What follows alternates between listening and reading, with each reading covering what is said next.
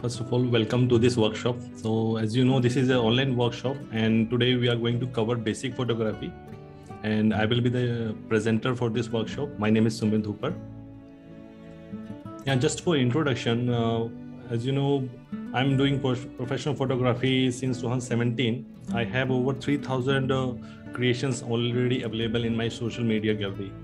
You can check my uh, social media profile with page handle Sumit Photo World. So it's available on the Instagram and Facebook. You must have visited my website, and uh, I'm offering my different services from my website. And it's a uh, you can say it's a different ventures I've I've set up to control the different services I'm offering. So SPW Expedition is just one of the part of that, where I'm offering different photography courses. And just for personal interest, I like to do expressive portrait work. When possible, I'm going into the street. I found my portrait models and tried to take uh, capture some expressions. I like to do creative art, creative artwork uh, for still life. Uh, it could be um, it could be product or food. I like to do nature uh, photography. When I'm when it uh, comes to micro work, I like to do it uh, more and more because it helps me to gain concentration and uh, just to enhance my skills uh, i usually do minimal artwork uh, because minimal artwork is help you to uh, improve your taste of composition because you will have minimal subjects elements in your frame and it will really help you. How you can place your uh, subject into the frame uh, with the minimal approach um, and sometimes you will feel that you are getting good taste of composition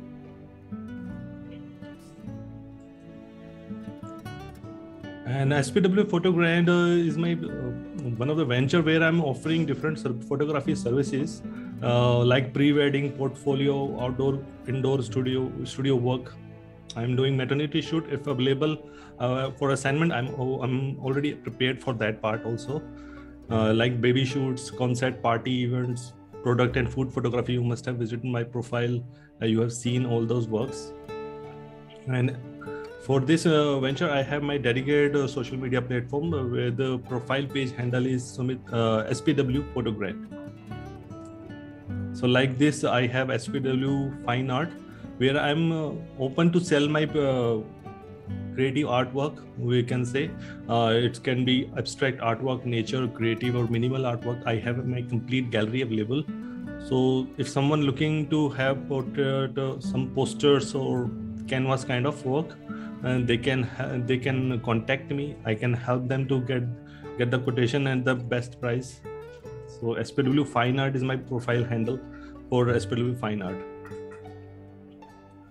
And spw expedition as you know i am doing all the photography uh, workshops uh, courses. It can be photo work free photo work i'm doing uh, in the weekend. So when uh, uh, it, uh, the covid situation was not there i was doing it very regularly but I'm starting it again from 5th March. My first uh, pre photo work is there in the in Pune city. Uh, you are from uh, which city? Uh, basically from Ahmednagar, but uh, staying in Pune now. Okay. So if you want, you can meet me. You can join this free photo walk uh, on 5th March. Yeah, I'm planning. Yeah, thank you so i'm doing advanced photography workshops. In advanced photography i used to uh, offer uh, light painting photography uh, food photography product photography. I consider all these as advanced photography workshop because we need more planning more controlled environment and we need to have better understanding for that uh, generation. I'm also planning for photography tours you must have seen. I have planned for bhigwan and bharatpur. Bhigwan is this month only and bharatpur will be the next month the remote locations of photography tours i'm planning. Maybe i'll have more locations maybe different uh, type of photography like tiger reserves and all. Uh, i'm looking for different ideas from uh, the feedback but i'm getting from the members. I'm just planning on that part. And the benefit of doing all this uh, when we go for a photo walk or outdoor workshop it will help us to gain our levels and we'll meet photographers at all the levels and we'll co- collaborate with them. We'll share their uh, we'll have their experience. We'll share our experience. And it's a very good environment for photographer if you are looking to learn learn more and more in the skills. And we'll always look for to create the professional like friends. So it's just not the fun part. We'll take it some serious uh, serious uh, point also. Just uh, when we are having camera with us we should have some serious approach i should believe i believe in that part. Because if you even if if it's uh, your hobby if you'll have some serious touch in it you will see that uh, your hobby is getting increased and it's taking different passion. So it's really helpful. So if uh, someone is want their uh, want to have free photo work kind of uh, in their own city in different part of the in different part of india any any states uh, they can help me to get sponsor and i may have my free photo work there also because i am collaborating with Stellar uh, it's a data recovery software company uh, from Mumbai. So they are helping me to doing all that uh, arrangement. Sure. Yep. My social media page handle for uh, SPW Expedition is uh, SPW Expedition, and it's available on the Instagram and Facebook. SPW Online, uh, as you as you know, it's a part of SPW Expedition only, but here I'm just offering only online courses. Uh, so i'll try to cover all the topics what i'm offering in the outdoor. So in the spw online i feel it's uh, giving more insight of the genres so what we feel is not possible to cover in the outdoor. It's really possible to cover in the online uh, workshop where i can go in more detail and depth for the topic so it's really helpful someone who has joined me in the detailed workshop. They must have seen that uh, what kind of content i'm creating for that online. So it's really helpful. It's a different uh, perspective when you see in the online workshop and how you get how you get to know that how detailed we can go into that uh, photography level. It's really interesting. So i like to keep continue. I don't mind if even even if i have one registration for that so all online workshop designed to deliver in-depth knowledge as i said. So selected subject sometimes difficult and even not for practical to share in outdoor even so it's really difficult sometimes to do all the discussion in the practical. So this helps. So i'm using the same spw expedition page handle for instagram and facebook just to posting all the updates regarding spw online workshop uh, i'm just recently developing my youtube channel sumit photo world. So if you haven't seen that you i'll i like you to just go to this channel and try to see what kind of content i'm posting there. My motive is just to have most of the learning uh, material available on the youtube channel. And i'm trying to do it in a unique way where i'll be covering my different uh, project assignments behind the scenes uh, for the SPW photograph I'm doing. So all the product photography, food photography, and other genres I'm, I will do. I'll try to have complete information that how I'm creating all those images.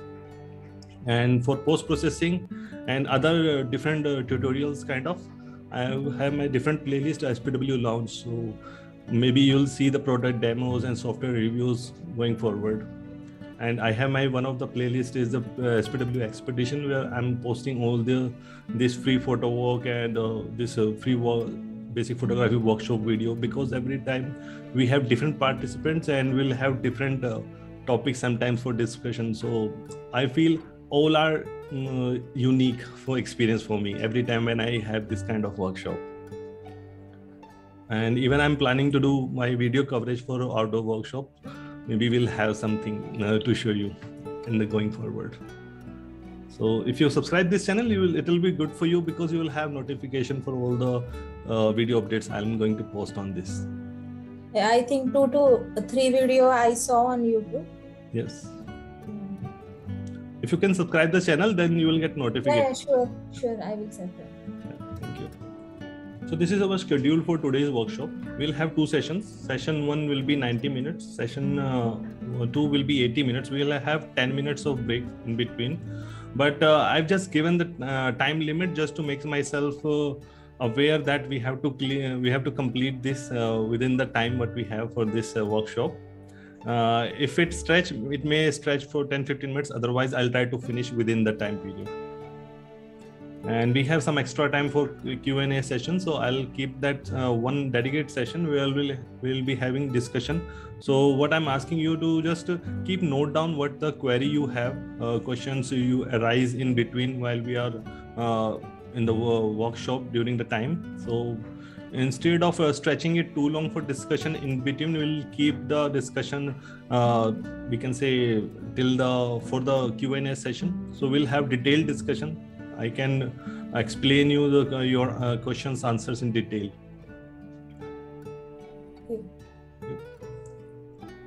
So if, if you feel you, you need to ask any questions uh, any small bites uh, you can just unmute yourself. You can ask me no problem with that.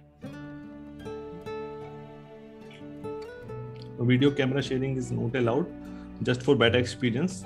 And you can send me questions via chat also so when when you feel that uh, you are about to ask any question you can type in in the chat.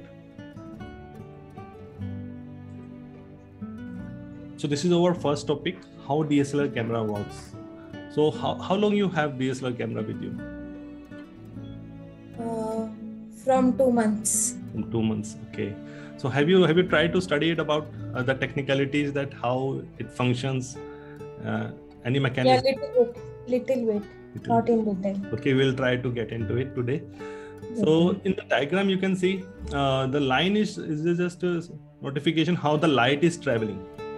So when light enters the lens how it passes through the lens and uh, there is a reflex mirror which helps the light uh, horizontal light to become vertical and reach the pentaprism. It's a section where vertical light become horizontal again and travel through the viewfinder, where we are able to see the uh, image or see, see the uh, frame in front of camera through the viewfinder. That's how we see the things. And uh, when uh, the moment of shooting, when we click the shutter release button, uh, capture the image, the sh- reflex mirror goes right on top and let the light reach the sensor. This is the strip, red strip line you can see here. It's a sensor where image will be captured.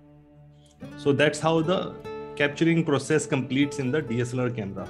So there are different components you can see. So lens is there, reflex mirror is there. As I said, this is a reflex mirror where, which always stays there at the 45 degree angle inside the camera. And when we click the shutter release button, it will go up and let the light reach the sensor matte focusing screen so this is the matte focusing screen right on top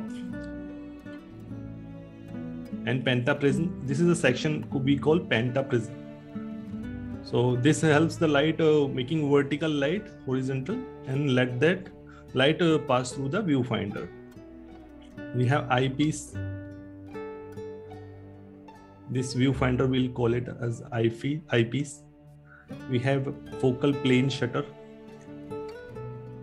So this is the focal plane shutter which is just kind of blocking the light uh, reaching the sensor or uh, not letting uh, any dust to reach the sensor. So it's just a kind of a protection protection for the sensor.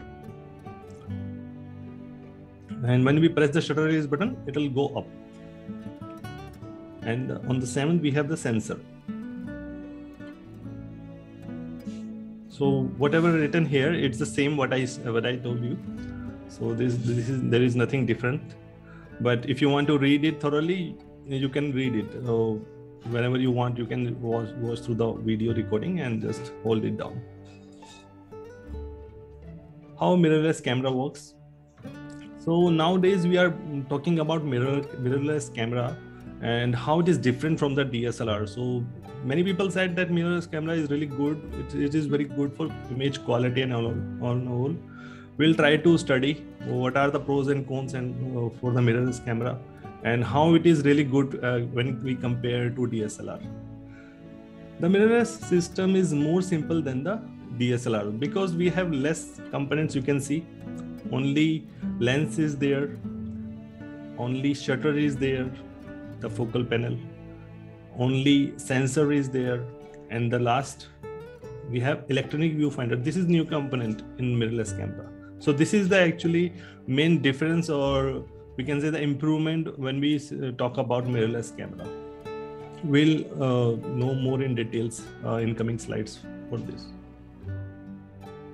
So this generates electronic viewfinder generates a live preview of the scene directly to the electronic viewfinder. So it's a kind of live view. It's not a reflected view it's a it's a live view. And it's uh, whatever you see in the mirrorless camera on the live on the through the viewfinder it will capture the same quality of image like the same color contrast you will see in the final image. That's the benefit of it. When the shutter release button is pressed the door will then slide up exposing the sensor to light. After that another door slides down to cover the sensor again which stops exposure and complete the capture. So this is the function of focal panel or the shutter just to complete the exposure. So when we uh, press the shutter release button, focal panel shutter opens up, let the light reach the sensor. When it's uh, when we complete the shot, it close it again, and then the image will be captured, and it will be processed by the camera for your viewing in the, the format of RAW file or JPEG files. So whatever the format you have selected for saving your images. Benefits of mirrorless camera. We'll talk about the benefits now. It's more compact. So as we see having very less components so it'll be very compact device. And making mirrorless camera is easier to carry. It's really very easy to carry when we compare to dslr camera. It's a kind of digital camera uh, in, the, in, when we uh, talk about uh, the weight only. Electronic viewfinder evf Final image preview appears directly onto the image sensor, offering live view, which then displays on the LCD screen.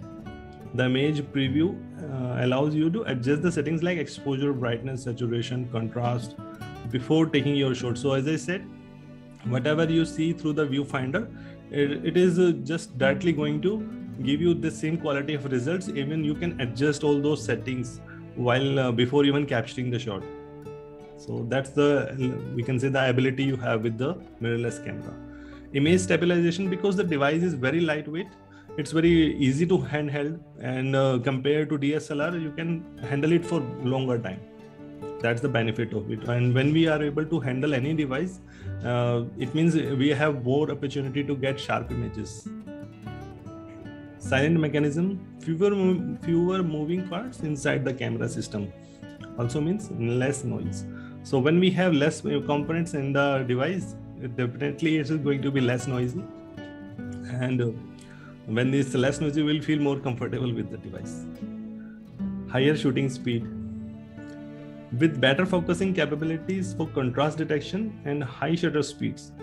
Contrast detection we'll discuss in detail in coming slides that what is contrast contrast detection and how it is different uh, when we compare to DSLR camera and high shutter speeds, mirrorless uh, models makes it easier for photographers to capture at a faster rate. So uh, this is the one of uh, benefit of mirrorless camera. Burst mode is really improved when we compare to DSLR. So in DSLR, if we say uh, 10 out of 6 will be the sharp images in the burst mode in mirrorless camera it will be uh, 8 or more so it's a, that's kind of the quality of burst mode you will get in the mirrorless device what's the difference? So we'll now talk about the uh, we can say the pointers or the difference in both devices. Mirrorless cameras are more lightweight. So this is the one point which is in the favor of mirrorless camera. Mirrorless camera offers real-time previews of exposure and contrast. So this is again a benefit of mirrorless camera mirrorless cameras have shorter battery life due to EVF. So this is a really interesting point because if we think uh, everything is good about, but EVF is really uh, taking load on the battery. So if you are going to have mirrorless camera with you, it means you need to have at least one backup of battery also, because uh, it is really draining the battery very quickly if you are in a continuous shot. Uh, it is compared to DSLR it is really going to have a battery drain quite uh, quite uh, quickly compared to DSLR. Mirrorless cameras are costly, and a budget DSLR will offer and the entry level photograph more value than a budget mirrorless camera. So this is an interesting point. Uh, again, in the favor of DSLR, that if you are going to buy a DSLR first time, uh, I should say instead of going for a mirrorless camera, you should go for the uh, budget DSLR because uh, budget DSLR will give you more accessories, more features. Everything almost everything will have in that budget dslr which you sometimes miss in a budget uh, mirrorless camera. So that's the quality you'll you'll see that uh, or the features you will miss if you go for the budget mirrorless camera. So that will be the benefit of mirrorless cameras offers fewer accessories. So because it's a this device is very new in the market so we'll see the uh, third party accessories are comparing to dslrs are very few.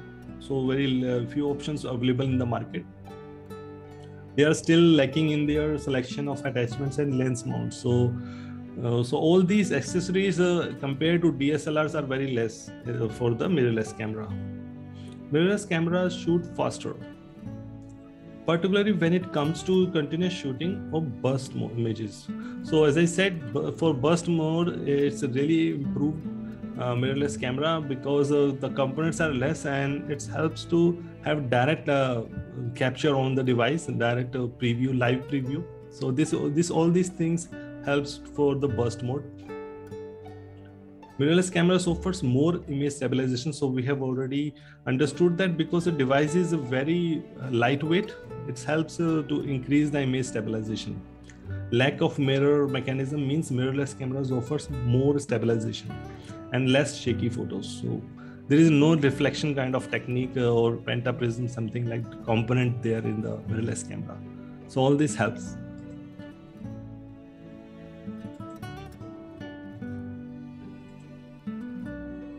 Mirrorless cameras have smaller sensor size than DSLR, so this makes them less ideal for low light situations. So whenever you are in low light situation, so the bigger the sensor size uh, you you will have, that you will be having the more advantage with that. The bigger the sensor size, the more advantage you have for the low light situations. So that's the benefit of DSLR because they have larger sensor compared to mirrorless camera mirrorless cameras have less accurate autofocus system. So this is really interesting point because uh, we are talking everything is uh, very amazing about the mirrorless camera but uh, autofocusing system is still uh, more we can say the accurate uh, in the DSLR when we compare to their technique what they use for focusing. In mirrorless camera they have contrast detection uh, but in DSLR they have phase detection phase detection is very good when uh, to measure the distance between the camera and the subjects and all this matters for accurate focusing. So this is the advantage and believe this is what which is still leading the dslr camera and giving good competition to mirrorless uh, cameras in the market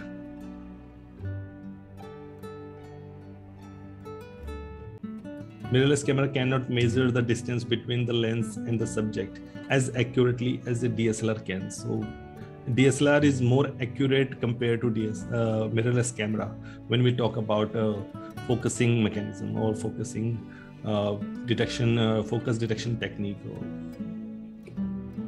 contrast detection. So it's leading. So it's still leading the market. Now we'll talk about camera modes. So, which modes uh, usually you uh, have in your camera when you are taking photos? Uh, A and um, I I use three modes P, S, and A. P, S, and A. Okay. So we'll just just have bit in details uh, that it may help you to understand it more better that why these modes are there and when and where we should use it.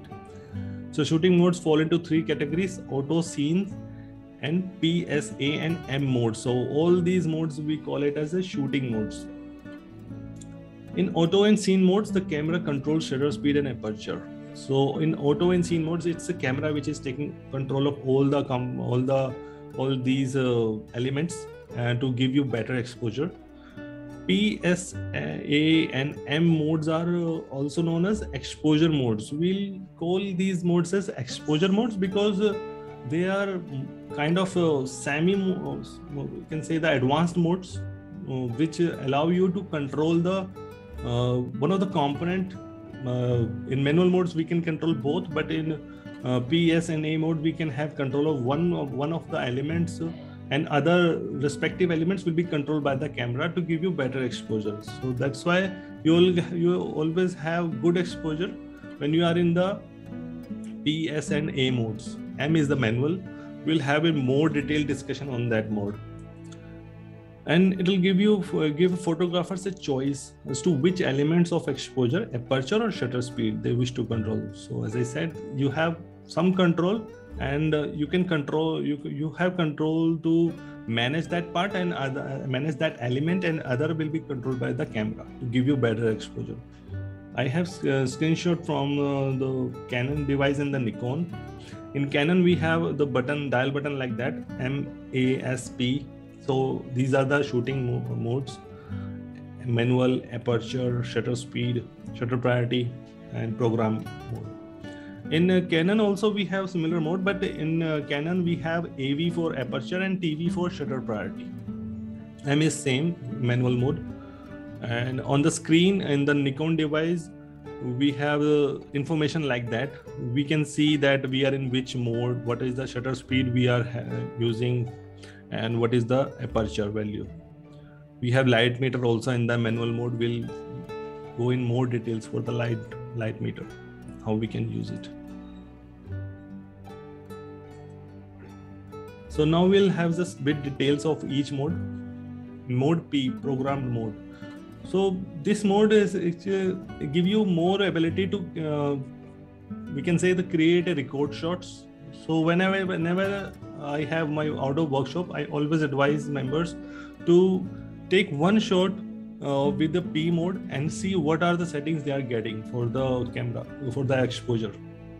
What shutter speed and aperture combination they are getting for good uh, or we can say the ideal frame with what they are looking for. The camera automatically adjusts aperture and shutter speed for optimal exposure. Photographer can choose from different combination of aperture and shutter speeds. That will produce the same exposure. So this is known as flexible program mode. So if you change one element, other will be automatically adjusted to give you better result. So that's how you'll get idea that what kind of uh, camera settings you should have when you are in the uh, shutter mode, shutter priority mode or aperture priority mode.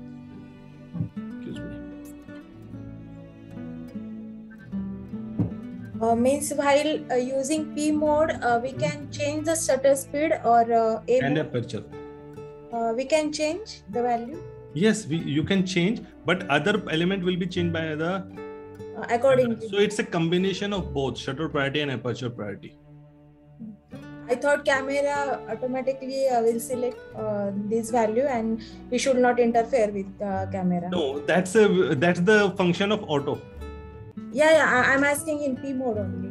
Uh, in P mode, we have control to change these value, but uh, there'll be combination. Like if you are going to change the shutter speed, aperture will be automatically adjusted by the camera to give you better exposure. Mhm. Okay. So this is the kind of uh, uh, flexibility you have. That's why we call this mode as a flexible mode because we can use this mode any anytime for any pho- photography because uh, we are our main aim is to get good exposure. Yeah. Mode S uh, TV mode shutter priority. Shutter priority mode is basically used when we are going to capture some actions. So our priority is to have good shutter speed. So camera will give you shutter speed what you need, but aperture will be controlled by the camera, and camera will decide that this aperture will give you better exposure. So depends on light condition. You may see it's opening the uh, aperture very wide. So you need to be very careful about when you are in the semi modes like uh, shutter priority. We'll discuss in detail that uh, how we can control the uh, aperture even when we are when we are in the shutter priority. Mode A AV is aperture priority. Photographer ag- ag- again have a ability to uh, select the aperture, but uh, shutter speed will be controlled by the camera. So it's a camera which is deciding that uh, shutter speed uh, you will get on that part on that selected aperture. So again, we still have some opportunity to control the shutter speed, uh, and we'll understand wha- how and where and how we can control it, even in those semi modes. Mode M is manual. So this is the mode where we want uh, to uh, reach actually. So whenever we have a DSLR camera, our aim is to reach the manual mode and coming out of auto mode is always a dream for any photographer that when they are completely comfortable with the manual modes so manual modes is giving you ability to control all the elements uh, both aperture and shutter speed providing the greatest latitude for creative expression. So it's a you that deciding that how the light should be looking in a final frame that it can be underexposed it can be overexposed with purpose for high key and low key shots all these uh, creative frames you can create uh, when you are in the manual mode Choosing wrong combination could, however, result in photographers that are overexposed or underexposed. So this is the term we use for underexposed and overexposed. So if you are choosing wrong combination, so when we say wrong combination, it means you want a balanced exposure, but for some reason the combination is not correct and you got some images overexposed or underexposed. But if we do the same thing with purpose for creative reasons, so they will will call it call it as a art. So that's the uh, point of view of photographer how they are looking on those images and what is their desired result. We therefore recommend using the camera exposure indicator as your guide when choosing aperture and shutter priority shutter speed. So in the manual mode only light meter will be will be uh, showing to you. So only light meter only appear when you are in manual mode and when you change all these elements light meter will start behaving differently. You will see it's going either on the negative side or or going into the positive sides for images which going to be overexposed. So light is getting darker or brighter. So you need to take care of the light meter. In all these modes p s and a modes semi modes uh, exposure is automatically adjusted for optimal results. So in all these semi modes, uh, our exposure will be all most of the time you'll see exposure is great, it's coming good because it's a camera which is deciding the final exposure. You are helping camera by controlling one of the element, but it's a camera which is deciding that a final exposure will be as optimal as possible. Now we'll understand exposure balance, expo- EV uh, exposure compensation. We say so. Exposure compensation sign you have seen in the camera plus minus button in Nikon device.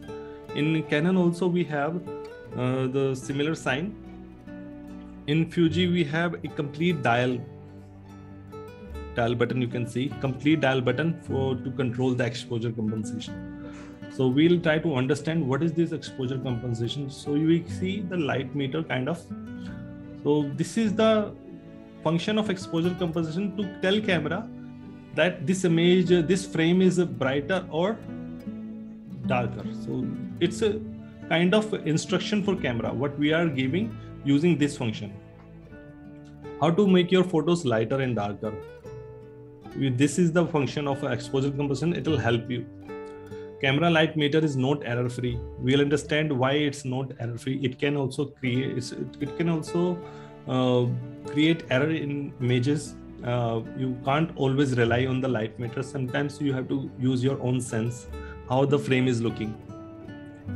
High contrast scenes can trick your camera. So in high contrast uh, uh condition sometimes camera is get tricky and uh, it's not uh, able to focus, do the focusing it struggled to get uh, the subject in focusing.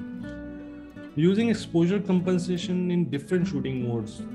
So when we are in different shooting modes, we can use these exposure compensation, like the semi modes we have.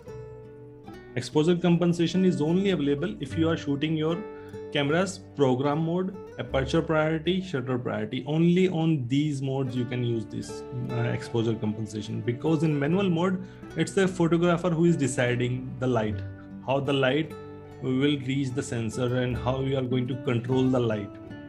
So that's why the exposure compensation is only available when you are in the semi modes like program mode aperture priority and shutter priority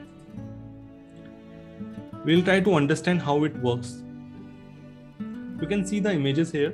So whenever we are adding exposure value exposure compensation like plus one plus two you can see it's it's making image look brighter and try to compensate the light quality what camera is sensing uh, in actual. So when we are in the zero adjustment so this is the actual exposure of the light available uh, at the time of capture but we have to we have to tell camera this uh, light is can be more brighter. So we have to add more exposure plus one plus two. So camera will take the same image with same lighting condition. It will give you better uh, bright uh, or image uh, when we use exposure compensation. And similar way when we have a frame where background is darker we can use exposure compensation to background look further dark or lit or control the darkness or uh, the light in the background. So from the dark uh, area how the camera is going to sense the light from the dark area. So this is the kind of exposure compensation you can see in the image. The uh, frame with the minus 3 exposure compensation it's having little darker background and frame with the minus 2 is having little more light on the background compared to other. So it's giving the separation of the subject and the background. So this is what we want.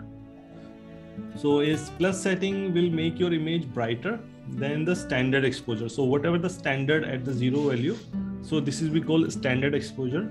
So whatever we are going to plus it will give us image more, more brighter image. If you are going minus it will make the image more darker with each movement up or down the scale records as a stop. We call it as a stop. When we are talking in the camera world technical terms we'll call these settings as a stop or increment. A full stop a full stop adjustment will double or half the exposure. So when we are doing full stop movement it can be plus one or minus one. So we'll call it as a full stop. So minus one will half the exposure plus one will double the exposure so that's we that's what we need to understand. But most camera offers immediate intermediate half stop or third stop so something in between. So quite we can say the uh, gradual adjustments or we can say this adjustments in between very subtle adjustment uh, for the exposure now we'll talk about shutter speed in detail that uh, shutter speed is just a measurement of time. The exposure the shutter is open. So most uh, most photographers uh, call it as the exposure time. The sh- uh, shutter measure, shutter speed uh, they'll call it as a exposure time that how long the exposure remains open for that shutter speed.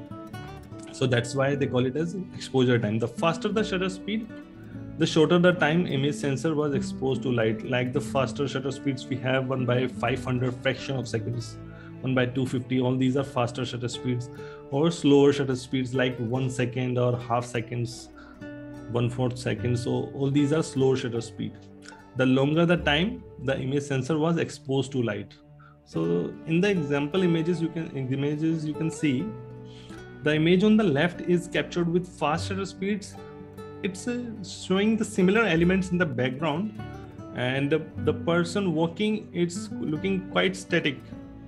So because of fast shutter speeds uh, there is no movement captured.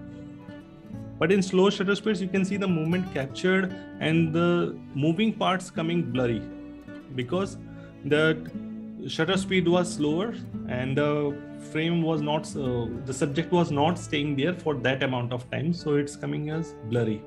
So it's a kind of creative photography. Sometimes we do it with purpose like we are going to capture any waterfall something like that. Will with purpose have some slower shutter speed. So water flow will show you kind of milky effect in the waterfall.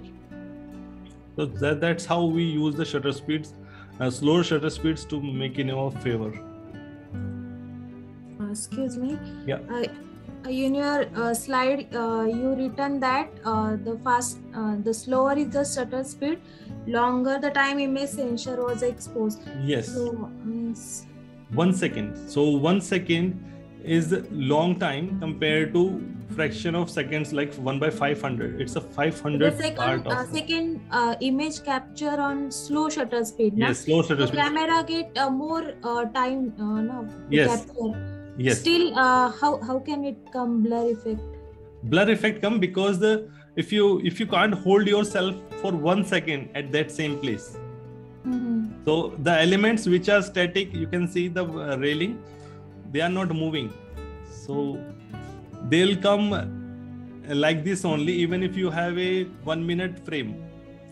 Mm. they are not going to move anywhere. But if any moving part is there you will see the moving part will come blurry. Okay. Sometimes we go in crowded place. We try to do it with purpose. We ask uh, uh, our our subject or the person we are going to take portrait we ask them to just hold themselves for few seconds so anything in the background crowd will not come into picture. Okay. So that's how we make the crowd invisible in those frames. Mhm.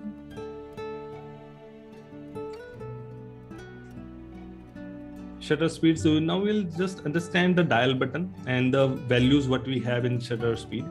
As low as we can go to 30 seconds that's the limit in the camera.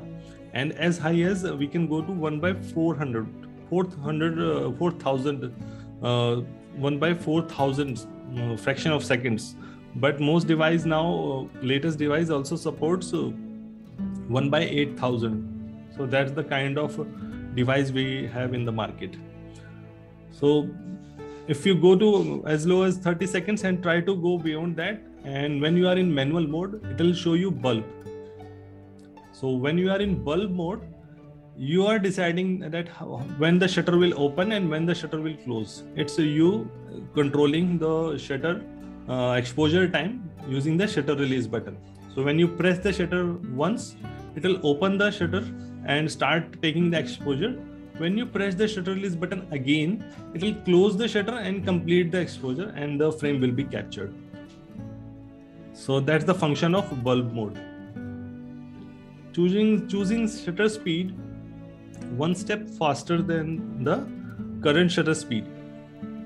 Changing shutter speed from uh, 160th uh, to 125th is referred to as increasing shutter speed by one step. So when we are going uh, to higher shutter speed uh, from uh, 160 to 125 it's referring as increasing shutter speed by one step. So as we have understood the steps uh, in uh, exposure composition similar uh, terms is used in the shutter speed when we are changing the value. And this halves the amount of time the shutter is open. So any one stop when we are doing it's doing half it's uh, reducing the time by half. So half amount of time the shutter will open compared to previous shutter speed. Choosing shutter speed one step slower than the current shutter speed uh, it's just a reverse example of that. So when we- we are in uh, shutter speed of 1 by 25 so we are going to 160th of second. So it's uh, referring us slower slowing shutter speed by one step. So again we are going one step backward and doubles the amount of time shutter is open. So it's allowing more light to come in. If you are using Nikon dslr shutter speed changes in one third steps. Some models also supports increment of one step and half steps. So that's the device limitation or device feature we can say. Aperture priority mode. So aperture functions uh, we have controls uh, on the brightness of the image that passes through the lens and falls on the image sensor. So we can control the brightness of image using aperture you can see the example images here down. So large f number increased depth of field. We'll call it as a small aperture aperture. Large f number small aperture. So always try to keep this in mind. When we are talking about small aperture uh, and large aperture small aperture means large f number. So hole will be small. So where the light is passing through. So this is the lens hole uh, for the aperture. When it's very small we are at the large f number. When we are in small f number it's decreased depth of field. It will just give you very shallow depth of field because it's opening the aperture fully and whatever the small f number you have the depth of field will be decreased. So you have to take care of it when you are in a, Uh, a small aperture. So you can use depth of field calculator DOF calculator available in app stores. You can download and use it and see that how the depth of field is controlled. It is expressed as an f number written as f slash followed by a number such as f1.4 f2 f2.8 so all these are numbers. F32 it's a very we can say small aperture aperture values used in frames decides the depth of field. So depth of field is the distance in front of and behind the focus point. So wherever you are taking focus measurement so whatever things behind that focus point and whatever things in front of those focus points.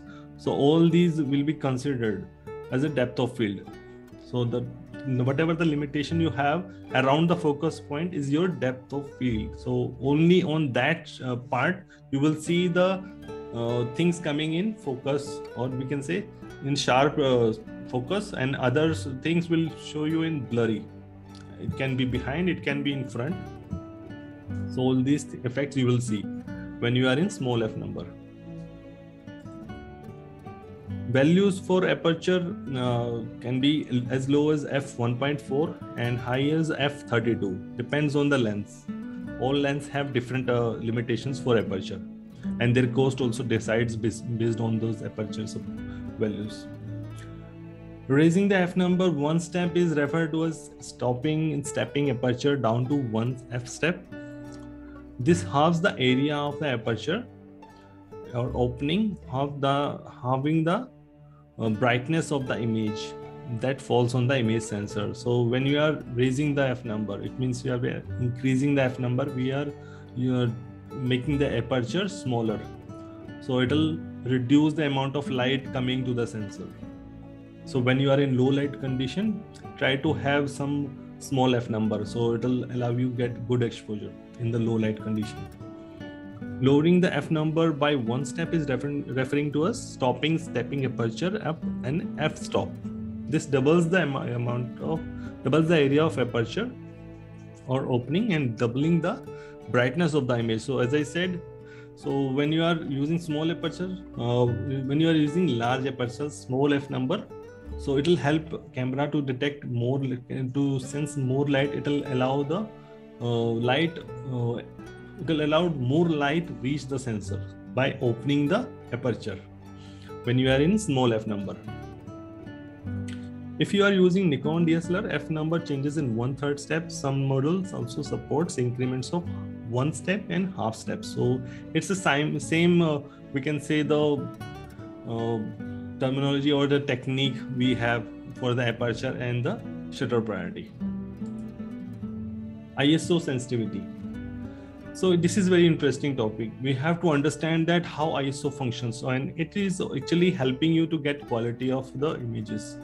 Iso sensitivity is a measure of camera's ability to capture the light. So when we are talking about uh, camera ability to sense the lights it's all because of iso it's iso which is iso which is helping the camera detect the light and capture it. Digital camera converts the light that falls on the image sensor into electrical signals for processing. So when light reaches the sensor, it converts sensor image sensor into uh, electrical signals for processing. So image sensor converts the light into electrical signals and process it. So when you are taking long exposure, you must have noticed camera is taking more time for processing so if you take uh, long shots like one minute two minutes kind of you will see the uh, camera is taking uh, time for image processing and sometimes you will see it's doing some zoom function notification kind of on the uh, lcd or on the uh, screen uh, info screen you can see that it's still processing the image. It will not let you take next image until processing is complete ISO sensitivity is raised by, raised by amplifying the signal. In other words, if ISO sensitivity is raised from 100 to 200 while aperture is left unchanged, the same exposure can be achieved with sh- uh, shutter speed twice as fast so this is what i explained earlier even when when we are in aperture priority mode and we see that uh, light condition is not good and we are getting uh, little lower shutter speed. So we are not able to hold the uh, do the handheld shot. So uh, do you understand what is handheld uh, shutter speed and what is normal shutter speed? Uh, handheld uh, 1 by 60 uh, 1 by 60 na? But the concept behind it what is why we call it as a handheld no i okay, don't. okay let me explain you. So whenever we are using a lens uh, it can be any of the any any number of focal length. So i'm just giving you example of uh, uh, 300 mm. So 300 mm lens means we should have at least 1 by 300 shutter speed. So there is no 3 1 by 300 shutter speed there will be 1 by 320 so we should have at least 1 by 320 shutter speeds when using full frame camera device. Full frame dslr we have we can have shutter speed of 1 by 320 it will help us to take the images while having the camera in hand. So that's the handheld shutter speed. If you are using lens which is supporting vr vibration uh, vibration uh, reduction so it will help you reduce the shutter speeds further one or two or three stops. Depends on the vr versions we are nowadays we have different vr versions. So vr version one two all these. So all these versions are also coming for vibration reductions so it will help you to take down the shutter speeds more lower compared to handheld shutter speeds. But if lens not supporting any vr vibration reductions or device also not having that facility then you should have at least 1 by 320 shutter speed for the 300 mm focal length. So that's the same rule apply when you have 50 mm lens. So device uh, device shutter speed should be 1 by 60 there is no shutter speed of 1 by 50 so you will have device shutter speed of 1 by 60 Yeah. so this is we call it as a handheld shutter speed. So when you are in aperture priority mode shutter speed is getting lower. And you notice that it's not a handheld shutter speed so what you can do you can raise the iso so when you raise the iso you will see that shutter speed is getting higher so you are getting good amount of shutter speed. So it's double the amount of time. It's you will getting the faster shutter speeds and reduce the camera blur. So camera blur is camera shake what we have if we are not in the handheld shutter speed. This is why people say that iso sensitivity should be raised if lighting is poor. So only this condition we should raise the iso there are some exceptional uh, conditions also where we'll capture the images with purpose with high iso but uh, most of the time we should raise the iso only when lighting is poor. No flash low light photography. When lighting is poor you can use the flash to light the portrait light the portrait subjects flash units however have limited range. So we can have flash units. So this is a manual flash unit. So you can see. So all these buttons and the meter you can see the how the light is going to fall the the power of light we can say. This is the manual flash we can have. So it is having its own range of reaching that and range is decided by the guide number. The guide number is actually the cost factor in the flash device speed lights. So when we have a, a lower high guide number higher guide numbers all these all these decides that uh, how how long the flash will fall uh, how the how long the light will reach uh, the subject. So some flash will support 20 meters some lights will uh, support more than that so some below that uh, so it's all depends that what uh, what uh, guide number is it is on the flash. So you have to be very careful that what is the uh, supporting range or the distance for the flash when you are going to buying any flash unit. So this is the Godox flash this is uh, advanced flash and it is having more range uh, or double the amount of it it will cover double the amount of distance compared to manual flash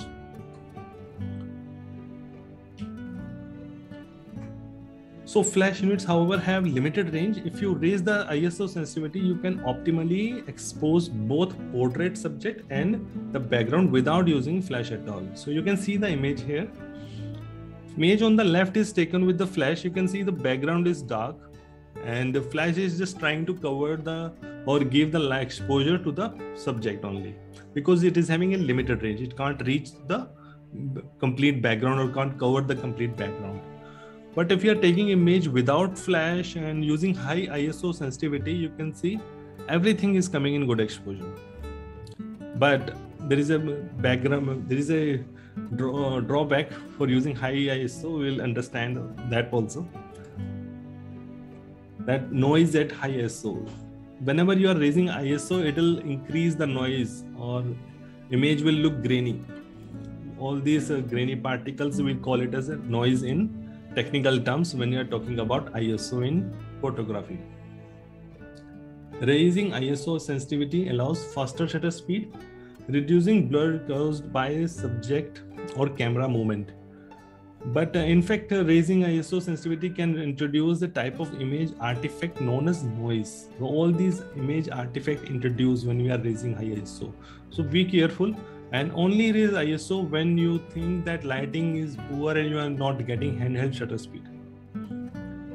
Raising ISO sensitivity amplifies the electrical signals uh, which also amplifies any noise in the signal. So when you are uh, raising the lens uh, or the device uh, ability to sense the light, it will also sense the image, uh, this or we can say the particles in the air, and it will show as a noise. As a result, the higher the ISO, the sensitivity, the more obvious the effects of noise on your photographs. The same is true of all digital cameras we recommend that you raise ISO sensitivity only as high as need to avoid blur. So again, the thumb rule that we only raise the ISO until we reach the shutter speed we need uh, for handheld uh, photography. So that's all. Uh, if you have shutter, if you have tripod with you, then you may you may be able to work with the lower shutter speed also because you will give more stability to the device. So you can see the range of ISO from 100 to 12,800 high, how the ISO will behave uh, or raise or create the noise in the image. ISO sensitivity can be set manually by the photographer or automatically by the camera. So this we need to take care whenever we have camera with us. So we'll have ability to set the ISO on auto also. But it is good to have ISO in the manual uh, manual mode so we will decide that when the ISO need to be raised, when we need to have high ISO just to get better shutter speed. Because auto ISO sometimes we will try to overexpose everything in the frame, and you may miss the miss your shot. That would be the possible. camera simulator app so this is what i have introduced in this uh, workshop starting from today only uh, so I found this. I was just looking for the uh, any uh, possibility how we can play with the settings, how we can give you the live feel of that how the settings behave. So what we have studied so far all these aspects shutter speed aperture and iso we'll see how they functions. And there is a simulator app a lot of simulator app available in the market in the online internet. You can find it. There are some softwares also. But i found this uh, online app from Canon. It's a manufacturer application and it's really they give you advanced options to control it. And you can see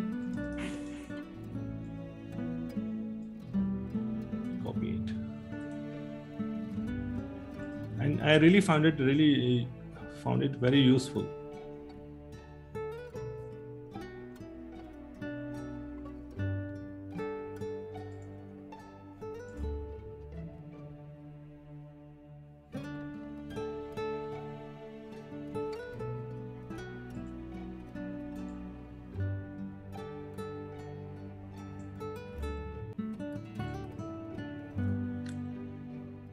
So this is a simulator app online available.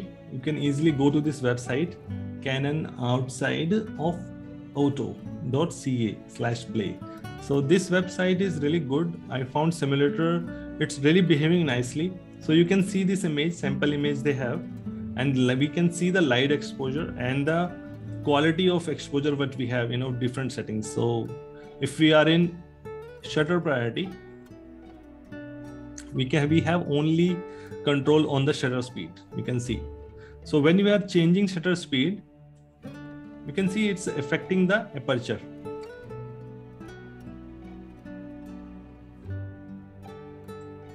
So at one second we are getting aperture of 22 f22 at 150 when uh, 250 seconds of 1 by 250 seconds of shutter speed we are getting aperture of 2.8 so what exposure will be always good?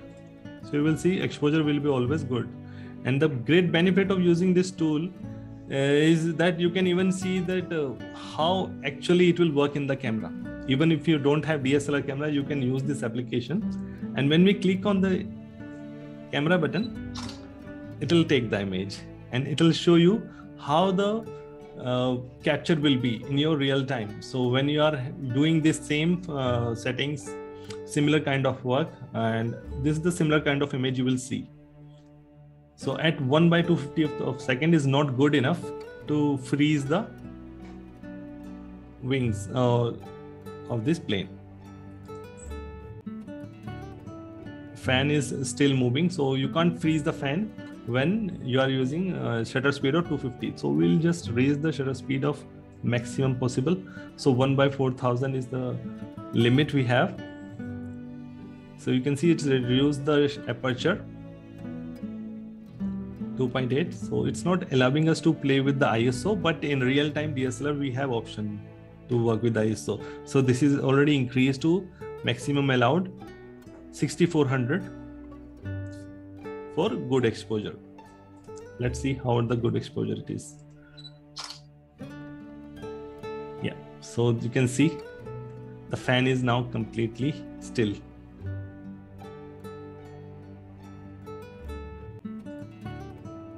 We can study different value with this app. Yes, yes, it's really good.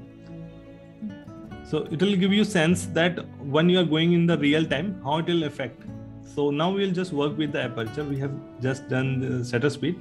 Now we'll see how the aperture is behaving. So I'm just taking the aperture at the maximum, f22. You can see the shutter speed is reduced to compensate the exposure and exposure meter is saying good exposure. We'll capture it. So you can see everything is in focus. From from foreground to background everything is in focus. And because of slow shutter speed so this is what i want to show. Because of slow shutter speeds now fan is almost invisible. Yeah. So that's what we do in real time when we go in a crowded place crowded place. Mm-hmm. we sometimes create a creative shots like that. We want with purpose to crowd look look a little bit blurry not invisible sometime. Mm-hmm so to create creative compositions. So now we'll see the aperture. F4 now you can see our focal focus point is the plane. Yeah. this is what in, in the good focus. Also anything in behind is blurry. Anything in the front is blurry. Mm. so this is the depth of field only covering this part of plane.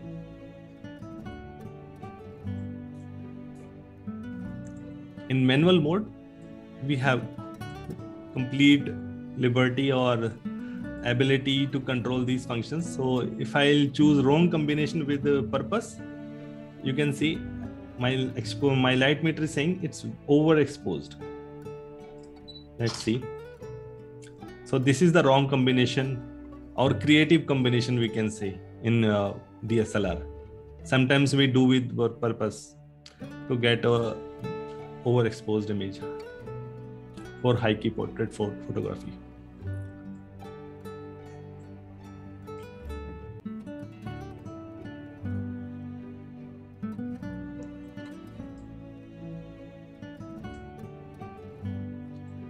And just observe the light meter here when I'm changing the value,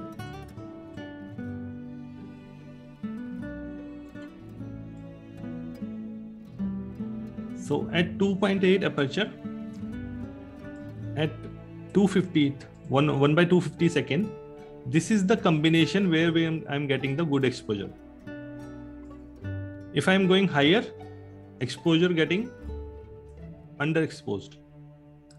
If i'm getting going uh, low or long shutter speed it's, it's getting overexposed. But this is the value where i'm getting the good exposure. So we have to take care of the light meter. This is the same approach we should have in the light meter when we are in the uh, dslr camera settings. We should observe that how the light meter is behaving. And when i am increasing the iso let's say it is in 400 i'm raising the iso you can see the image is getting little overexposed. So what i'm doing going to do? I'm increasing the shutter speeds.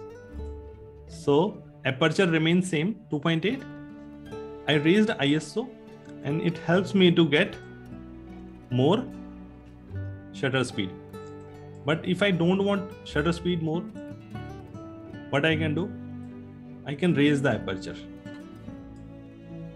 3.5 i'm i'm getting the good shutter speed. So this is the benefit of uh, using manual iso you can decide that what value you need to increase. So if you need more aperture and f number if you need higher shutter speed so you can get benefit of it. Most device supports good iso nowadays. So depends. You need to test your device at different iso level so this is a good exposure image. Nothing is underexposed nothing is overexposed.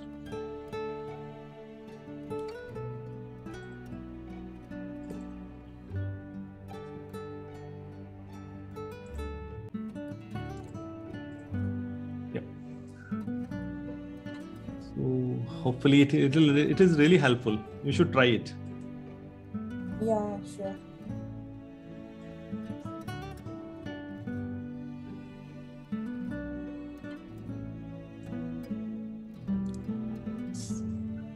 now we are in focusing mode so we'll understand what are the focusing modes available and how they they really impact our images and how we can control them one shot focusing mode. So one shot focusing mode, we'll call it in Canon. In Nikon, we call it as AFS single shot. So it means it's taking the focus only once. So it's uh, calculate it is it is taking focus and locking the focus. So it's just do, not doing any further focusing.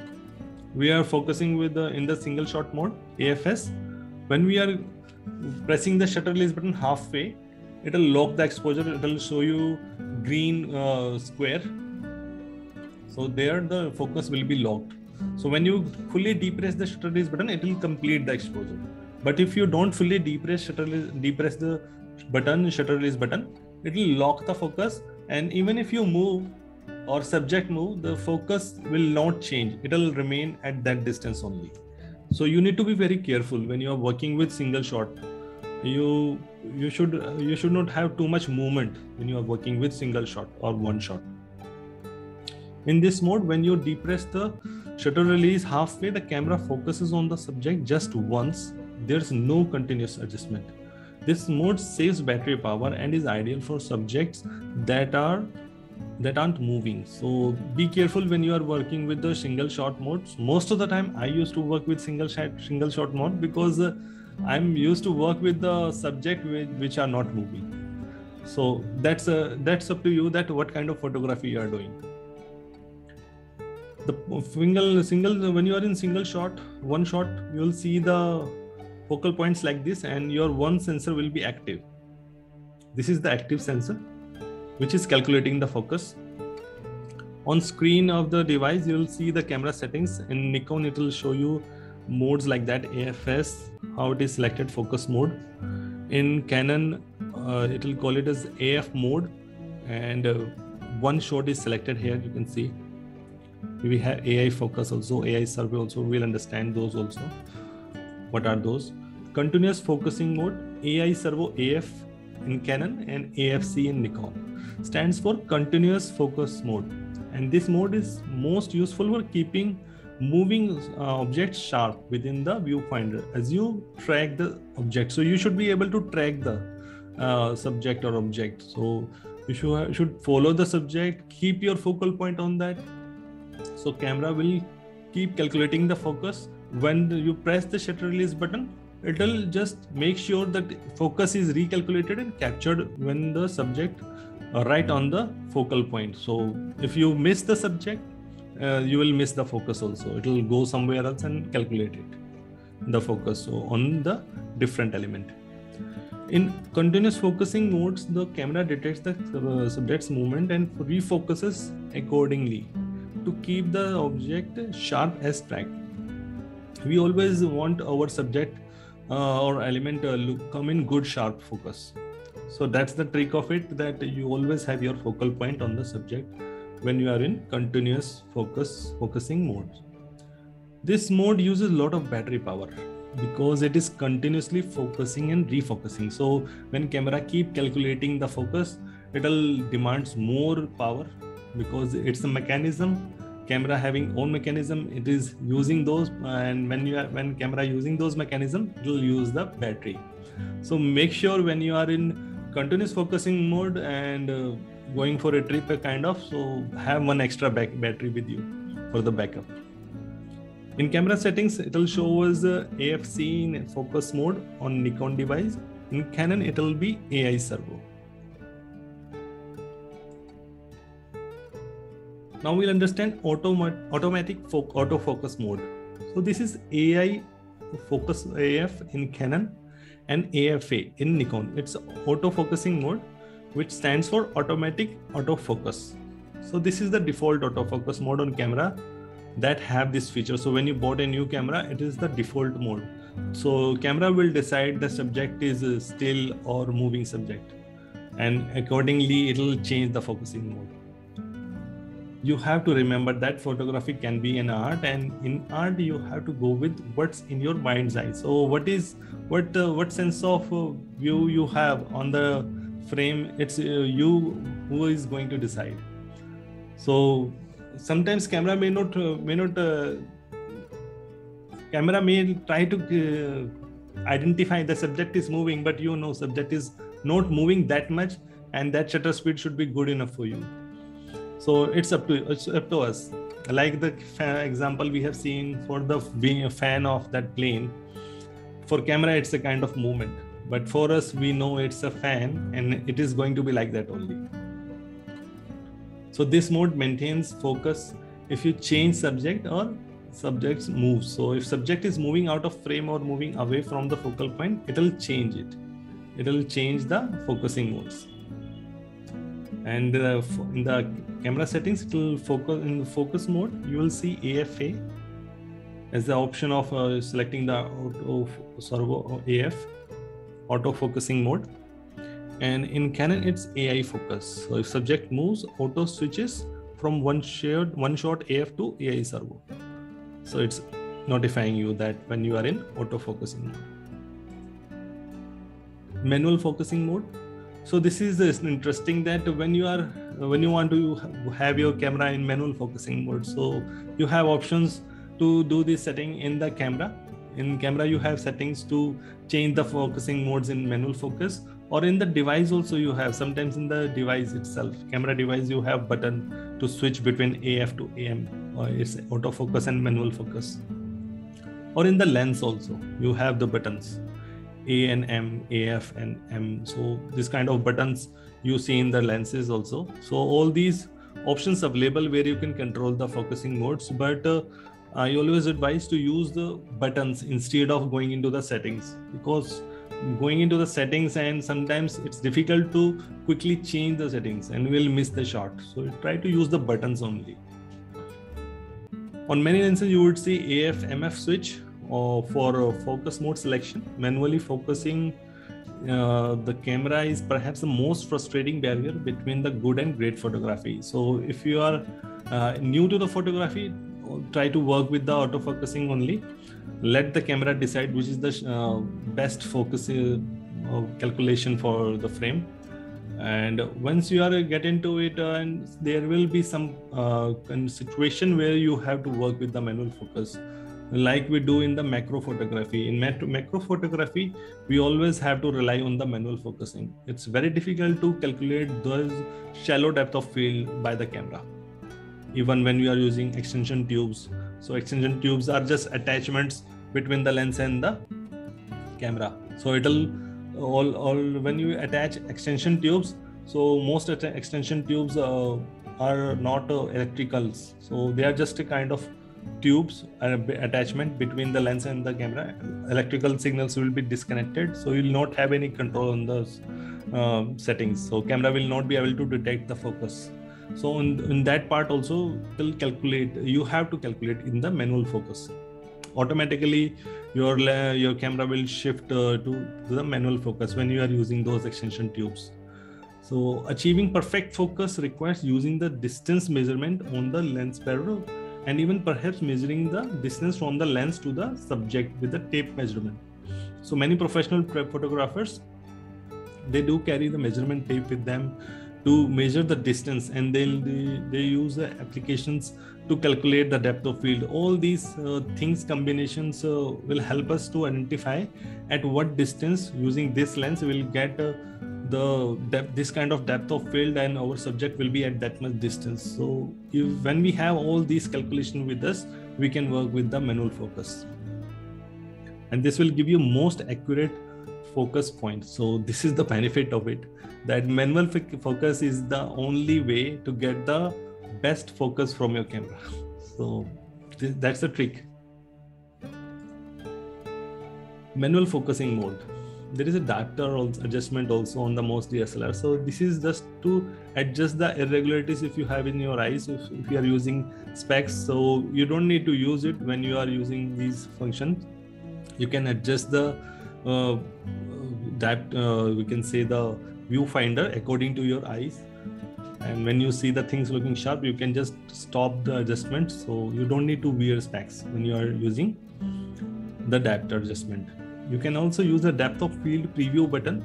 Some device supports this pv button. So it'll help you to give you idea that what kind of uh, result you are going to get after completing the shot so in your dslr when you take a picture you will see the effect of aperture and the depth of field blurriness how the uh, bokeh is coming in the image. But if you are using pv button you can get it before even capture the image manual focus is essential when you focus on non-traditional subject. For example a subject that is in the background uh, when the foreground is busy and dominating. So when camera is struggling for detecting your subject or focus is not able to focus on the subject. In those scenario those conditions uh, you can use the manual focus. And it is really helpful focus indicators. Blinking keeps works even when you are in manual focus mode. So in your camera, uh, when you are in viewfinder, you must have noticed one dot. It's keep blinking. So when it will it will only stop when you lock the focus. You can try it. So it'll it'll give you idea that how the fo- focusing is getting locked. So when the focus is locked, uh, that blinky will stop. And the trick is that function still works even when you are in manual focus. So what you have to do, you have to half press the shutter release button, assuming that you are locking the focus and keep move the uh, focusing focusing ring on the lens and have your focal point on the subject. So when your subject is coming in good focus and uh, it will detect the camera mechanism will still work and it will detect that subject is coming in focus whatever in front of the focal point and it will stop the blinking. So you will understand that you are able to get a good focus even without even with the manual focus mechanism. So that's the trick. In canon it beeps. So that's the trick. When we are in the canon device it'll be it'll make a beep sound when subject is getting in good focus. That's how you can achieve good sharp focus even with the manual focus on confused uh, so this is really confusing sometimes can be figuring out when we should use manual focus and versus the uh, better to use an autofocus mode. So it depends that how you are comfortable with the focusing modes.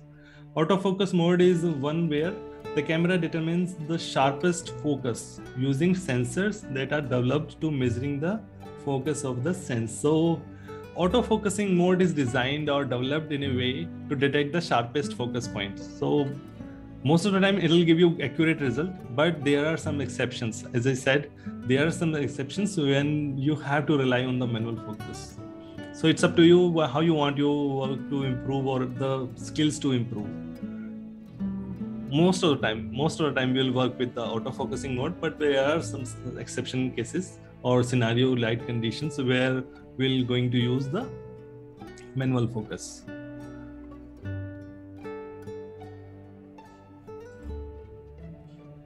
Auto focusing versus manual focusing which focus mode you are in? So it's very easy to identify. You can see in the camera notifications uh, info screen we can see it's afa is showing, showing. In the in the canon device it is showing this one shot af so that's how we can identify which uh, focus mode we are in. In the camera settings. Some some sometimes you can set the focus mode on the interchangeable lens. As i said on the lens also we have switch. So if you are using those switches then it will be more easy for you to control all these uh, focusing systems and it's very easy to moving between the autofocus and manual focus when you are in the uh, when you are using the uh, buttons. Manual focus mode. With manual focus you are going to use the palm of your left hand to cup the lens so this is what you have to control the lens how with camera. So when you are in manual focus so you have to hold your hand near to your body just to give more stability. And make your hand like a just kind of stable place and you can use your fingers like that. So it'll help you to move the ring focusing ring. And uh, most of the time you will see that you're getting good focus good result even with the manual focus if you are using this technique then use your left hand finger slightly to use the auto focusing uh, focusing ring on the DSLR lens until the image is in sharp. So as I said uh, it will give you more control when you are having using this technique and controlling the holding the camera in a right way. So that is really interesting and easy way to get a good sharp focus in even when you are in the manual mode. Holding camera properly is the key aspects of making use of manual focus. So if you are if you are comfortable with the hold handheld if you know how to hold the camera correctly then you are in more better uh, we can say the more better uh, I think what I, what I should say. If you are if you are if you know how you can control or hold the camera handheld you are in more better situation to get your images in good sharp focus even with, without a tripod so that uh, that's the recommended to have that's a recommendation to have study tripod uh, for manual focus. So when you are working with the only manual focus is like macro photography are going on. So it's it's, it's always advised to have macro uh, photography using a tripod. Or when you are going in a long exposure kind of photography where you can't hold hand hold the device for a long time you'll use the tripod autofocus af single servo is good for stationary subjects. As the focus locks when the shutter is pressed halfway. Afc is continuous servo. So we have already understood all these points but it's autofocus which is deciding. The camera will decide that the subject is moving or still. The autofocus continually can adjust. Autofocus AFA auto servo allows the camera to choose which of the two autofocus modes are is more appropriate to use. So this is the this is the AFA function when come into picture uh, to decide that this is the moving subject or this is a still subject and it has to select that mode. Metering modes.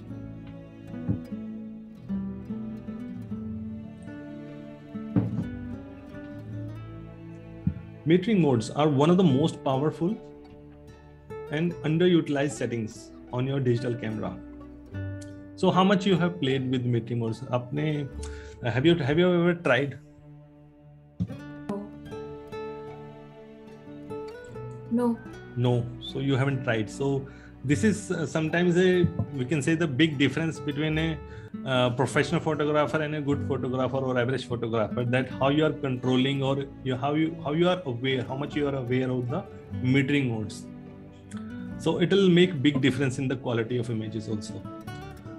Best photographers always start with the best original photo. So when you see images in your camera after capturing if it is looking at the best exposure or the best quality what you want so this is where the photography starts photography starts getting improving that you, if you are seeing the best images on the camera definitely it will going with a great image for your after completing post processing work and that can only happen when you get a proper exposure getting proper exposure depends heavily on how you control your camera metering modes it's heavily depends on metering modes. In Nikon, we have matrix metering, center weighted metering, spot metering. In Canon, we have evaluative metering, partial metering, spot metering, center weighted metering. So you can see in Canon, we have one extra one, partial metering mode. We'll understand that what is that and how it is different, and if it's really making going to going to make any impact.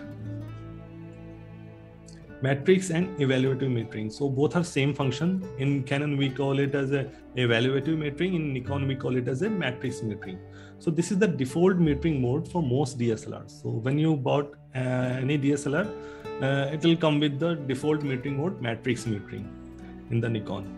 It reads the light from the whole scene. So whatever you see in the frame through the viewfinder. Camera is trying to calculate the average exposure using all the elements. So whatever is viewing through the viewfinder camera is taking exposure value from all the elements. So 100% of the frame is being used for uh, calculation for the average exposure. It measures the several points uh, from around the frame and calculate the average exposure it is ba- biased to the focus point selected. It is really depend on the focus point which you select and center focus point is uh, considered to be the most powerful focus point. But it also takes into account several focus point uh, factors including distance to the subject colors of the scenes in uh, focus area and other elements. So colors distance all these also getting into picture or getting into consideration for calculation in order to find the best exposure for the whole scene. The mode is excellent. Under following circumstances you want to work fast with minimal change in settings. The light condition is changing quickly. You are covering actions and angle to, to the subject is changing quickly. And when your subject is uh, changing angle very quickly so you can't do change in settings for the exposure. So it's a camera which is deciding that uh, this will be the good exposure. So camera will make sure that you will get good optimal exposure in the matrix metering. So lighting and contrast are not extreme. So when light conditions are not too much uh, we can say the under underexposed or too not too much low light condition or not too oh, bright condition in a sunny day like that. So light condition should be good balance. So in that way in that condition uh, you can work with the matrix metering mode in some cameras extra weight is given to the point that is near to the focal point that is being used. So whenever you are selecting different focal points in your device the camera will give you camera give more weightage to the focal point which is selected. So that is the considered as the more uh, we can say the powerful focal point and it will try to calculate the average value for the exposure around those focal points. So it will give you extra it will give extra weight to that point center weighted metering so as in the name suggests our subject should be in center and why because it's taking exposures about 60 to 80 percent uh, around the centers only. So actual frame and focusing on the center. This mode operates under assumptions that you will most likely center your subject in the viewfinder. So it is the assumption that you are going to have your subject in the center when you would use when you would choose the center weighted metering mode. So it's perfect for event situations like a wedding. In wedding photographer, most of the time they work with the center weighted metering mode you don't want the background into uh, to influence your metering re- reading so you don't want the background lighting coming from the corners and all it will influence it will influence your exposure calculations so that's that's the place actually we use center weighted metering you try to meter a light from object against a dark background. So again if your contrast conditions is there something is uh, really dark in the background then center weighted metering is really helpful because it is going to take the exposure calculations for whatever in the center subject. Uh, you want to keep your subject in the center within the frame such as portrait. So in most of the time you'll see in portraits we try to use this technique. It can be group photo it can be single portrait uh, photo but we have to have our subject in the center. Most useful in event photography where the use of spot metering mode is not practical. So this is a good tip that uh, when spot metering mode is not practical or uh, you can't easily have uh, expose your focal point right on the subject it depends uh, on the what kind of frame you are creating. So in that mode in that uh, event photography you can easily use it. Center weighted metering mode. Spot metering. Spot metering mode is the most accurate and hardest metering modes to use. So as i said spot metering is really is really accurate because it's taking a calculation from 1 to 5 percent of from that spot what where you're focal, having focal point so you're going to get that exposure only from that point around that 1 to 5 percent uh, of the total image area that you see in the viewfinders. So it's a very tight calculation. So you have to have your focal point right on the point from where you want to calculate the average exposure value. It's usually represent a small uh, red dot and fixed directly in the center when you see through the viewfinder you would see it by pointing it uh, the subject element that you want to take the meter reading from so we have to directly point that uh, focal point on the subject from where we want to take the reading the most metering mode, the spot metering mode is extremely useful. It allows you to exactly fine tune your exposure. So it is really giving you good control in the exposure calculation. The camera won't be fooled by an extreme contrast situations. So anything in the background, like a backlight or something, uh, camera will not uh, try, even try to calculate any any average value from those uh, light source. It will take the exposure only from the point where you have the focal point on the subject you can get the accurate meter reading from an object where you have set the focal point so it's giving you accurate meter reading. So there'll be very very rare chance or, or rare conditions you'll you'll struggle with that but it will give you accurate light meter reading.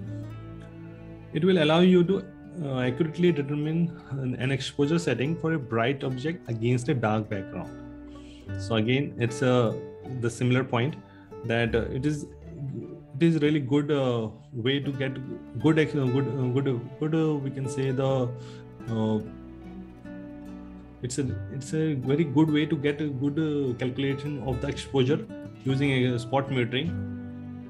Because what it's doing it's uh, taking all the calculation from the spot and even if they're having the bright condition bright object against a dark background or it's a it can be the reverse. It can be having a dark subject in front of a bright backgrounds like in outdoor photography in all these conditions it'll help you to get a good exposure from the spot. Make sure you you always check your camera uh, meter reading before shooting to ensure you are getting a correct exposure. So always try to have a look on the meter metering modes when you are trying to when you are trying to take a photo. Uh, it, it, can be indoor it can be outdoor. So when you have a good control on the metering mode, you will definitely get a good quality of exposure in your final image. Partial metering mode. So this is interesting to, because it's supported only in uh, Canon devices. So you will see that uh, it's a combination of uh, different metering modes. It's a combination of spot metering and center weighted metering. Partial metering is similar to spot metering, but uh, an extended area of the frame which is remitted uh, light measures 20% of the frame so it's a combination of uh, we can say as i said it's a combination it's a kind of a uh, combination of spot metering center weighted because uh, i we can have different uh, image ca- exposure calculation from different parts. So it's giving you a mid value between the spot metering and the center weighted metering. Center weighted metering, metering it was 60 to 80 percent and spot metering was 1 to 5 percent. And in this mode we'll have 20 percent of uh, image calculation around those uh, selection points. For uh, exposure calculations. This mode serves as the middle point between the spot, spot metering and center weighted uh, average metering. Similar to the spot metering. Similar to spot metering, it is useful when some areas of the scene would affect the overall exposure, making it too dark or too light. So it, it's like this uh, spot metering only, but function in a large way. Because we have a uh, large portion of the frame to for uh, calculating our average value for exposure. It has new, it has a few benefits creates a tight, accurate reading from approximately 20% of the image area, works like the spot metering mode, but takes into account a larger area. So as I said, it's work like a spot metering only because it's taking average uh, exposure calculation only from those spots, but we have a different spot selections uh, options available. So we'll ha- we'll have image calculation or the exposure calculation from different part of the frame. The metering area is often adjustable, allowing you to move it around the viewfinder. Uh, what we'll have, we have some kind of frame framing in the viewfinder. So we can move all those frames for image exposure calculations. Use center weighted metering mode instead of partial mode if that mode is not available in your camera. So if your mode is not, if your camera is not having partial metering mode, then it's better to have uh, use only center weighted metering modes because uh, sport mode, spot metering mode is not going to help you because it's having very tight uh, exposure calculation uh, area.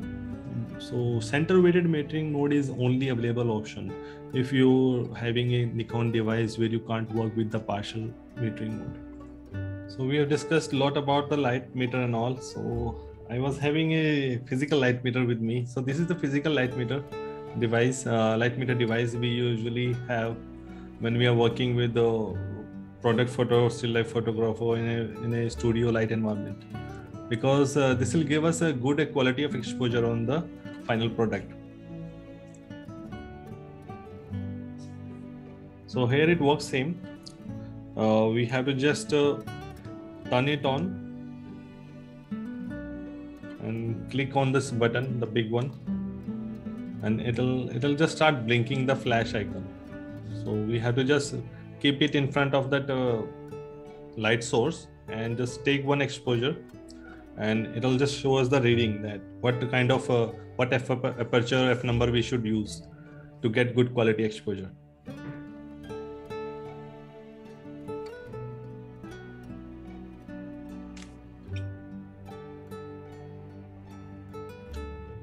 Uh, initially it was actually heavily used by the video photographers when they are taking interviews to calculate exposure so now we will talk about composition techniques.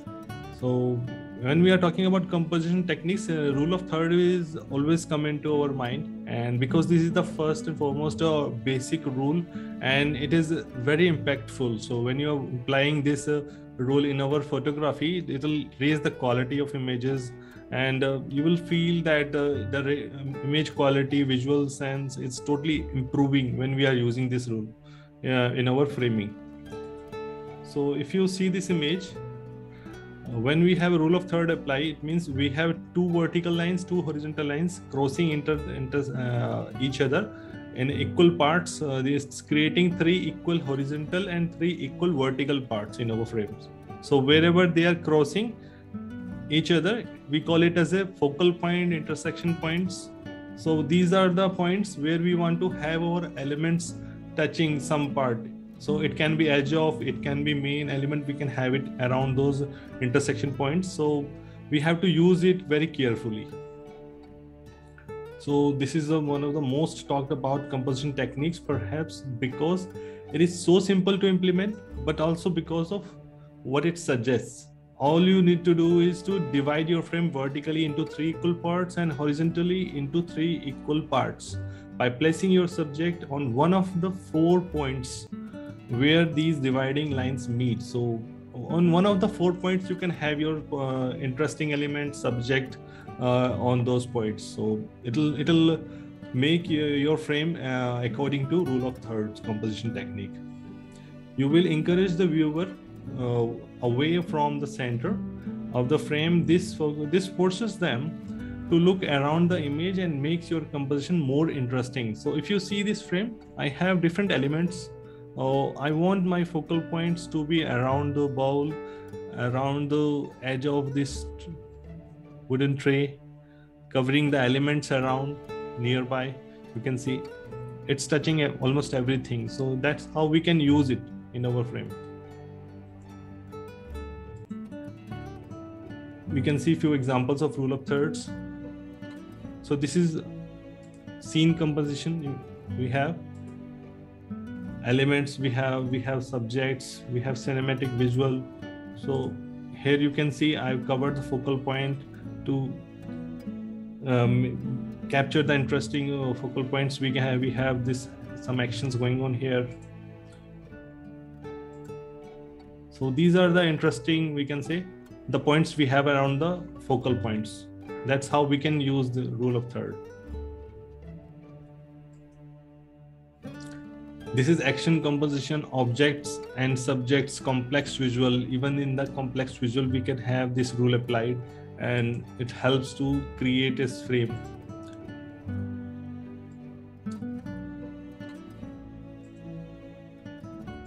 So all these are the inter interesting elements I have all the four focal points you can see utilized beautifully. Um, I have some elements in the background, so it's also covering that all that part. So that's how you can even use it in a complex uh, visuals uh, where you have something, some actions going on in the uh, uh complete frame.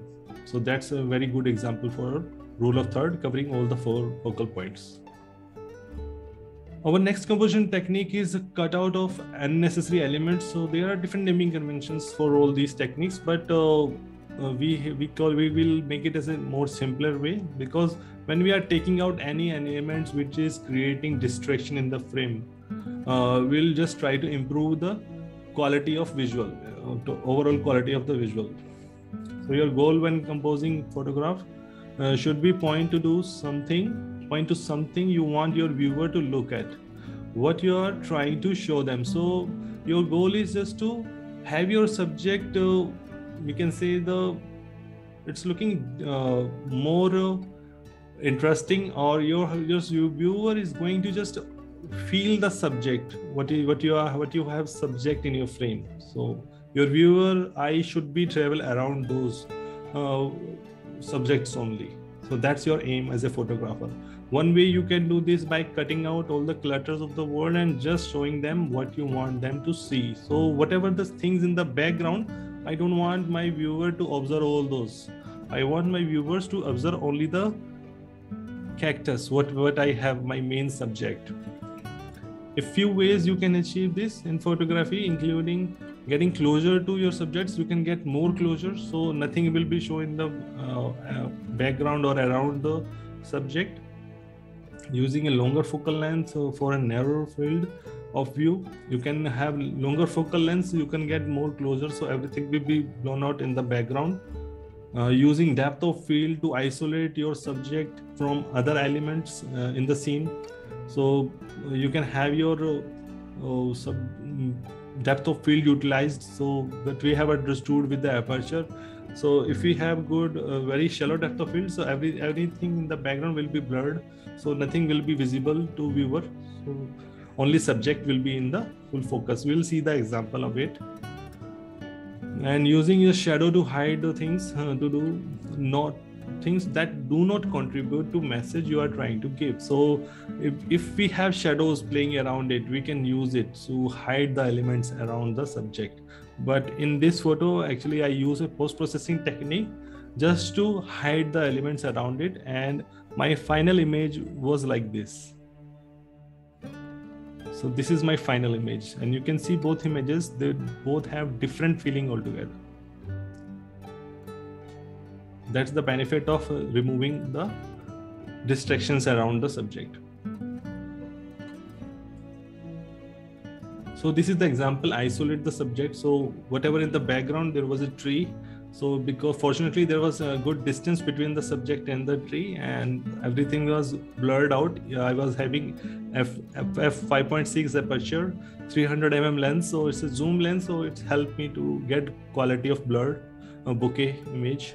In this photo of the butterfly on a wildflower i set aperture f 5.6 widest possible on 7300 mm so this is the widest possible aperture we have on 300 mm uh, focal length for a lens of 7300 mm it supports 4.5 on 70 mm but for if you are using 300 mm full focal length uh, it'll restrict you 5.6 which is not very wide but results in a very blurred background when using with full zooming in subject. This focuses attention on butterfly as blurred the background is now less distracting or we can say it's very minimal. So only some patches we can see some highlights and dark spots gray area. So but overall it's looking very clean image. This technique technique is excellent is an excellent way to simplify a composition. So we are just trying to achieve a simple composition, simplifying. There is nothing much distraction. So that's our aim is as a photographer. Isolating the subject. So what I've done, uh, I've just used a wide aperture 3.5. So you can see 85 mm lens. It's a prime lens, and I managed to blurred out the background. It's a street photography portrait, and the background is very minimal you can see it's a very clean image in this photo of a man portrait i set the aperture of f3.5 uh, which is very wide and results in very blurred background this focuses our attention on the subject and this has worked very well on the busy street in local market area. So if we are in a local crowded market area you can use this technique to get your amazing portrait. They'll you'll show the amazing colors if you are doing photo in a color photo color uh, uh, you are retaining the colors in the image. Sometimes you'll get amazing results if they are beautiful bold colors in your background here, elements in the background completely blurred and not creating any distraction, which is looking good for the portrait captured on a street. Leading lines. So this is our next composition techniques. Leading lines. So it's very widely used in our leading line techniques. It's a very simple way to use lines uh, for their drawing power. So because lines draw attention to the point where it ends. So that's the power of using leading lines lines that are simply graphic can be used to lead the viewer around your image. So in this image you can see it's the buildings uh, line you can see in the edges how it's taking on top.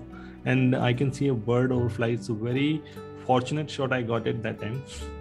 So it's really looking good uh, when it's uh, leading to the top these uh, are called leading lines or spot end lines so it's leading to a sport. Sometimes we call it as a spot end line also composition technique.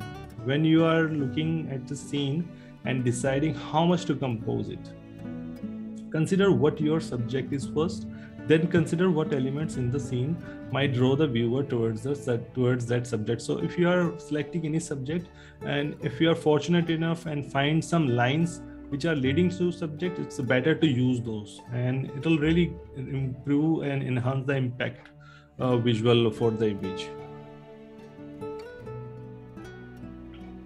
And you find reading uh, receding lines like a fence that draws you to the old house on the hill? So these are just examples that what kind of uh, opportunities you can have for leading lines. Maybe there's a crack in the concrete leading to a flower growing at the base of the walls the viewer's eyes will naturally follow these lines uh, so they can be very useful in directing people to what you want them to look at.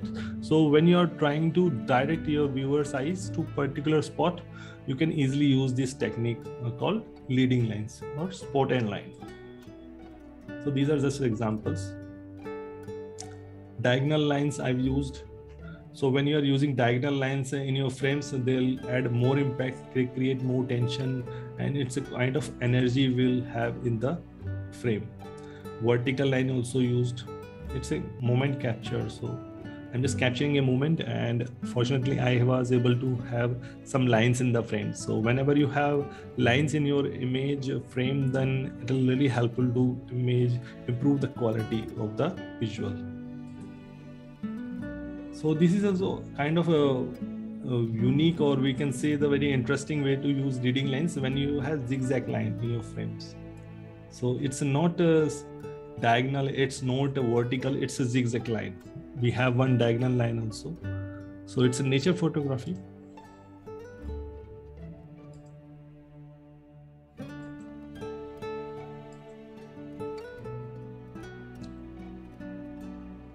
so whenever you have lines in your frames they always create some uh, you can say the very interesting uh, sense or the, it's really create a it's a put life in image overall. So when we have a lines in our image they'll they'll will look more impactful than compared to the image where having no lines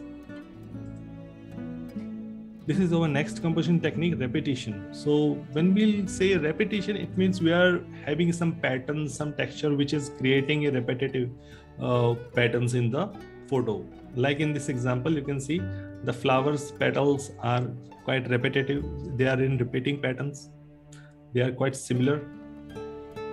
So things so they can be arranged uh, to create repetitive repetitive patterns in your photography. So it can be any elements things like uh, fence posts like lines or pedestrian crossing. So you must have seen pedestrian crossing. So these are also very good example of uh, repetitive patterns. Some orchard of, orchard of trees anything that can be arranged into a repeating pattern can be, bring a great intensity to a photograph. So all these techniques uh, are just adding some energy to the frame it can be leading line it can be repetitive pattern. So repetitions all these are what, what they are doing. They are just adding some energy to the frame. Anything? Depending on the subject matter it may be calming like the row of pillars of building or alarming like endless rows of people walking in the time.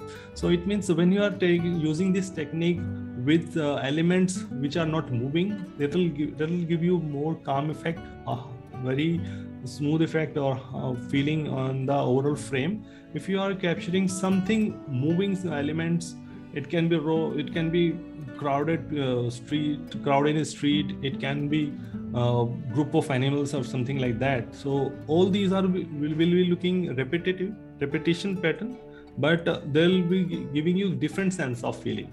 So they'll be look very alarming very energetic. So the complete feeling will be different. Depends on the uh, scene or the selection of the subject. Uh, there are uh, these options to means this combination mm-hmm. to set uh, there are the options in camera to set these combinations different. These are composition techniques. It means we are deciding how we are creating our frame. So it is beyond the camera settings. So it is your uh, we can say the element selection and your subject uh, placement. All these techniques are deciding or helping you to uh, place your subject in the around the focal point helping you to find some interesting element elements and use it within your frame and use it uh, with your subject to add more impact in your visual mm-hmm. so these are composition techniques okay. these are beyond camera settings okay.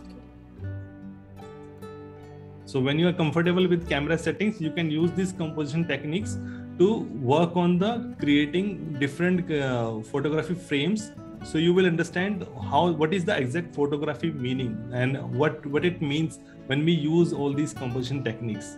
So whenever we are reading any image we have some sense scientifically proved when we see any image we see the image around those four focal points which is created with the rule of third.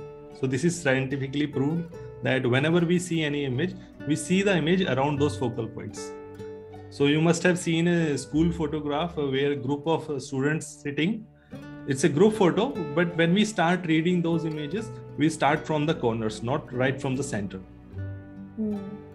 this is human nature and it's scientifically proved that when we are reading any image we have some sense to follow. And this is we called in camera world we call it as composition techniques so there are some additional techniques and like what we have discussed leading lines repetition. So all these are different we can say the techniques which are raising our senses how we see the image.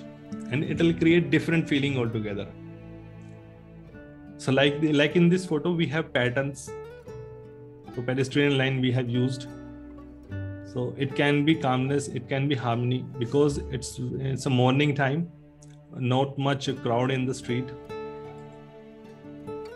we have patterns in the nature. It's very easily to find patterns in nature. Not regular but still in harmony. So all these are patterns.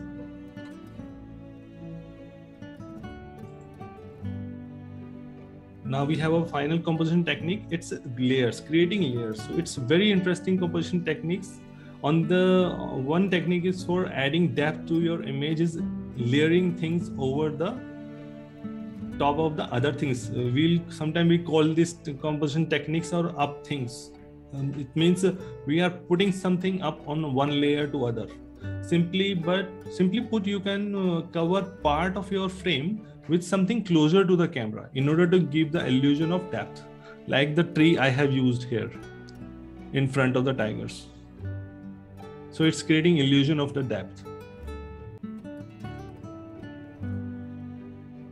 You can use the leaves uh, of a tree to frame a couple with the park. So these are the kind of photography uh, we have seen uh, in a journal when we are seeing the wedding photographs and all uh, you must have seen the things elements how they are using to cover the subject to add some uh, depth uh, feeling in the frame empty juice glasses while the server pours the fresh ones in the background. So in the event photography you must have seen all these kind of images where some action is going on and we have some something happening in the background also. In sports photography it's very common to see. Or an audience uh, listening to a speaker on stage at corporate event can make a good frame that don't simply show the speaker out of context so it means uh, we are covering an event where we are seeing some, seeing something is happening or it's a kind of it's a, it can be a, a event photography where speaker is giving a speech and from the background you are taking a photo while covering the speaker and showing the audience. So it's completing the story. All of these things not only fill the uh, frame, fill your frame with the interesting elements, the further the story you are trying to tell. It will help to explain or tell the story what you are trying to sh- show, uh, create a picture uh, in the particular event. So it's help us to complete a frame when we are using all these techniques. So we can see the first layer we have. We have second layer with the tiger where I had my focus and the third layer is the background so this is where i i was having focus around the splash.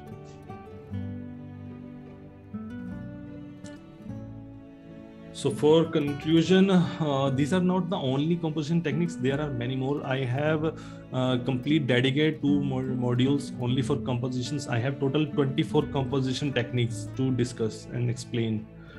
So it's a, quite a lengthy topic but what i've told you what i've done here i just showed you the basic composition techniques what we can easily use in our general photography. And it will really help us to improve the quality of images what we are capturing now. With knowledge of camera settings and the uh, how it behaves in different settings uh, for different light conditions. And if you have control on or knowledge on the composition techniques also it will really help you to give you a good start for photography and in this basic photography workshops uh, these are the only mo- that much of topic i can cover. So hopefully it will really help you. And you have some actionable items here uh, which you can work upon and improve. So as you know we i'm also collaborating with the stellar. So they are offering us uh, photo recovery software and you also have opportunity. Uh, if you need the photo recovery software uh, subscription for one month you can just simply ask me I'll I'll just send me a mail. Uh, you can confirm me on the email, that you need it. Uh, what i'll do i'll just get you a, a link where you can uh, apply for this uh, one month free subscriptions. You can use full version of software at no cost just to test it out. And uh, why we use the software so software photo recovery software and how it can help you i'll just try to explain and how it functions at times when we use these uh, storage media we can accidentally damage or delete the data. So sometimes uh, your memory card gets corrupted sometimes accidentally file deleted on the camera and you will you will feel that you lost the frame or your uh, shot what you captured.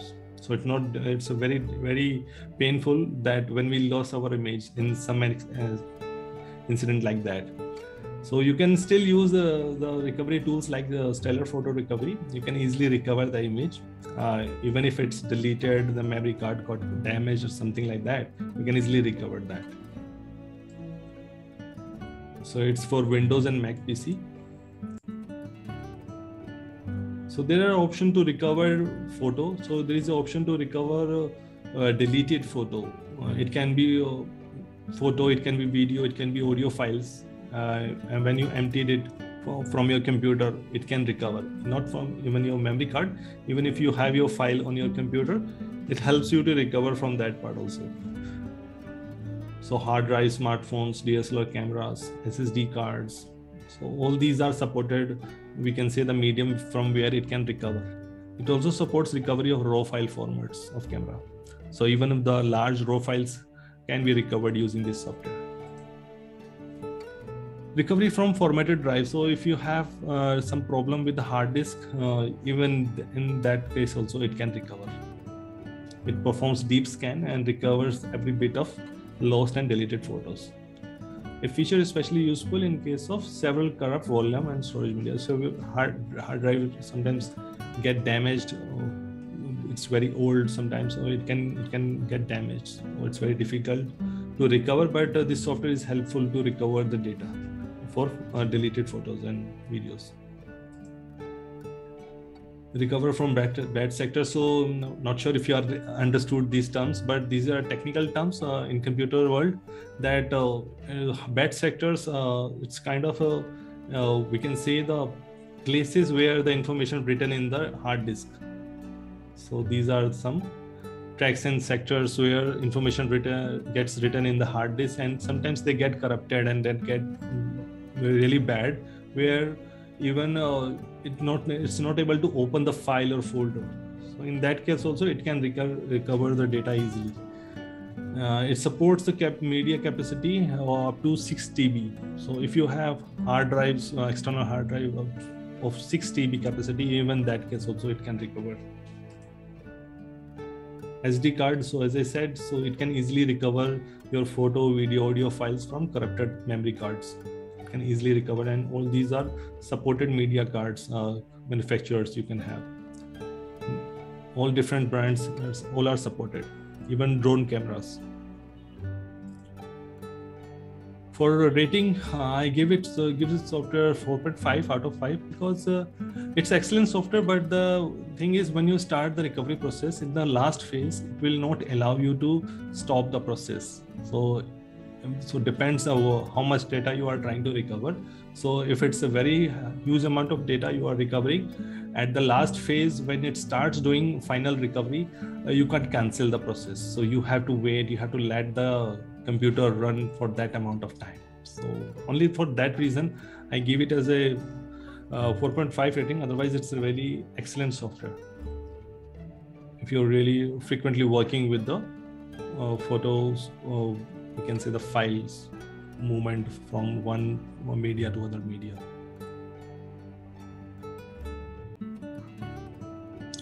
So they also got rating from the ndtv also. So let me just give you brief uh, information of the upcoming photo photography workshop and photo works i have. So for the photo work and uh, workshop the next free one i have on 5th march is free photo work. And 5th march uh, in the evening time i have my basic photography workshop this work again this workshop again. So if you feel you still have some questions uh, which you want to discuss you can you are very free. Uh, if you if you can discuss in the q&a session that will be great. If you still think that there are some questions you need to discuss in detail you can uh, you are always welcome to join again in the next free photo in the basic photography workshop and we'll have some discussion in that time I have upcoming expeditions, so I usually divide my expeditions in birds, streets, and nature photography. So my street photography expedition is on 6th March, and uh, I have my nature photography expedition on 26th March. On 20th March, I have my birds photography expeditions. All these are happening in the morning time. So mostly I restrict my online workshops in the evening and uh, my outdoor workshops in morning time. I have my special workshop. Uh, my light painting photography workshop is happening on 19th March. So this is the evening time, 5 p.m. to 8 p.m. So this is really helpful workshop for those who want to learn the long exposures and want to create a creative photography using light sources.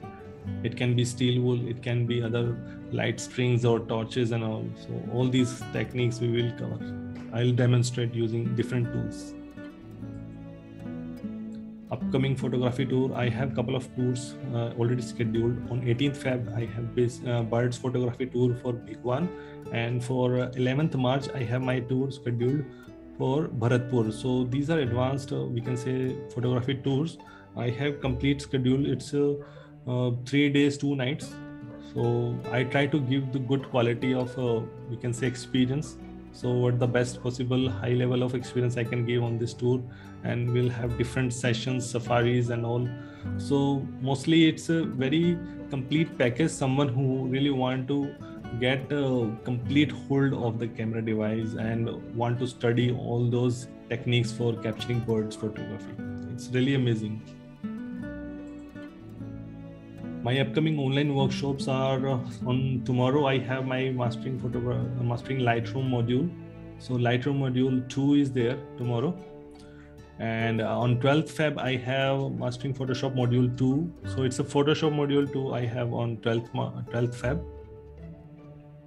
On, on 13th i have glassware photography. Glassware photography actually i'm using just to help someone who's looking to uh, capture reflective material photos. It can be glass it can be other reflective materials. How we can control the reflection how we can have good light on the reflecting material what are the techniques and what approach we should have when we are working with the glass material or another other shiny things uh, when we are doing photography using even a studio work or when we have good amount of lighting composition techniques as i said i am offering composition techniques modules. So my module 1 is on 26th feb.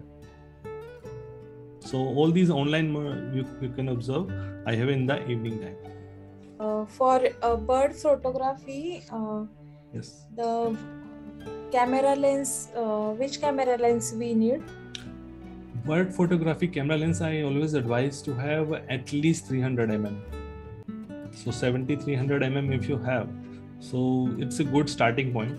Something around 400 mm uh, we consider is a we can say good uh, handhold or good quality of images you can get even if uh, the bird is at some distance.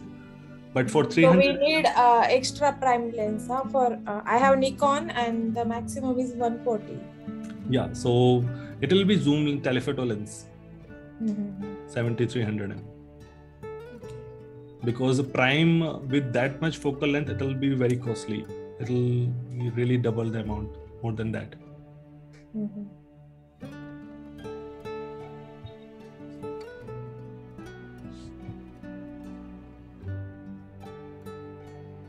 for uh, night photography uh, what should be the ideal value for uh, shutter speed and a yes. So when when we were working, uh, talking about the aperture so and uh, shutter speeds we also consider that uh, there is a factor about low light photography.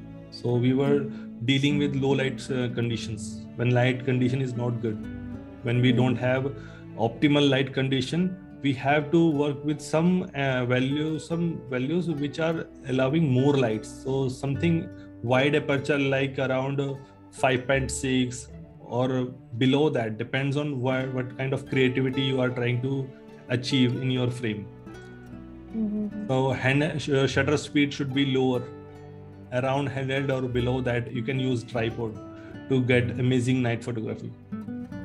And uh, in uh, means like birthday parties and all that uh, event uh, photography? Event photography uh, mostly event photography we are doing with good amount of lighting sources. So we have some light sources. We can use uh, soft boxes lights we can have different flashes and all speed lights strobes.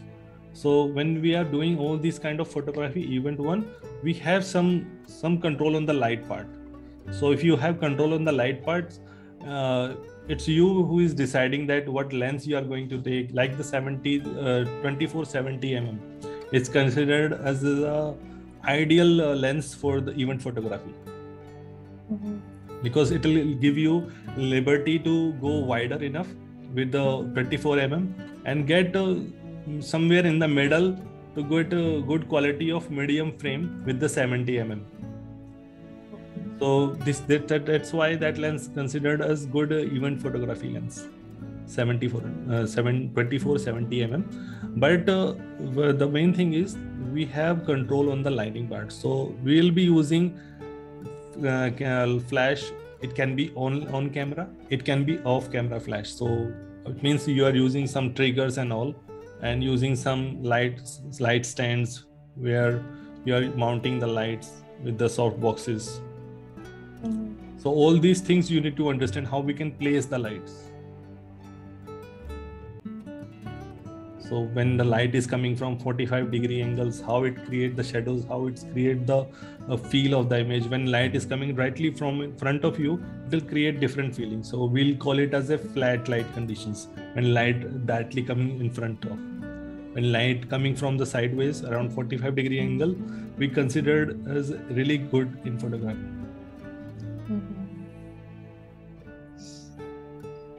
Do you have any uh, session? There is one blog also on my site. There is one blog on lighting. You can read out that blog.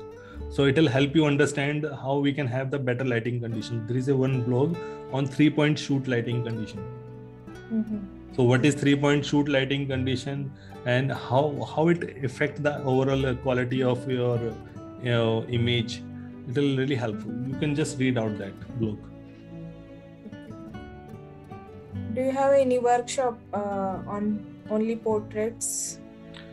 Only portraits uh, right now not i'm just working with some studio. Creative with, means like a maternity kids like that? Yeah actually for that i'm just working with some studio if i can get the opportunity because i need to work outside on... we can i mean uh, we can do no yeah that's outside it. Outside also? Outside also we can do. We can do in the studio environment also. Mm-hmm.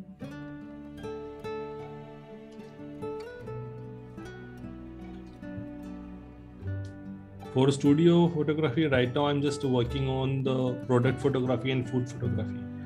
Other other other topics I'm going to include, but uh, I'm just looking out for uh, some studios where they can offer me the models because uh, that is something I'm uh, right now looking out. Some collaboration with the studio where they have some contacts of models.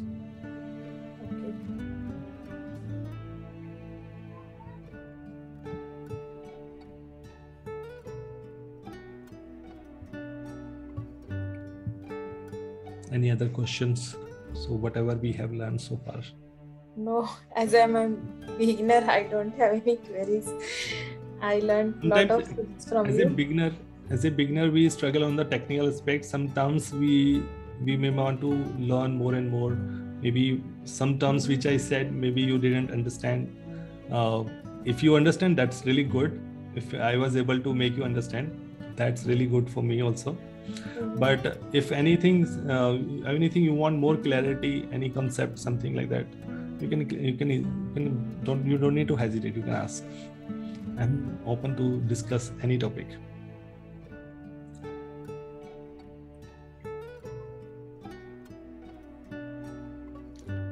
In my previous workshops i had good detailed discussion around uh, exposure compensations one of the participant was very keen to understand that and it was quite a good discussion at the end mm-hmm.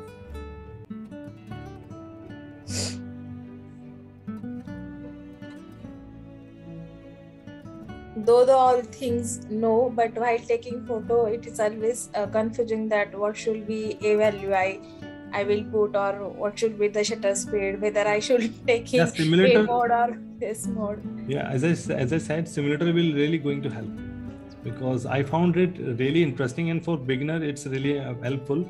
You can can uh, there are different photos also. It's not just the one single photo. There are different photos also. You can uh, see the different photos and what camera settings it was having those photos in the same site there are some examples. You can refer those.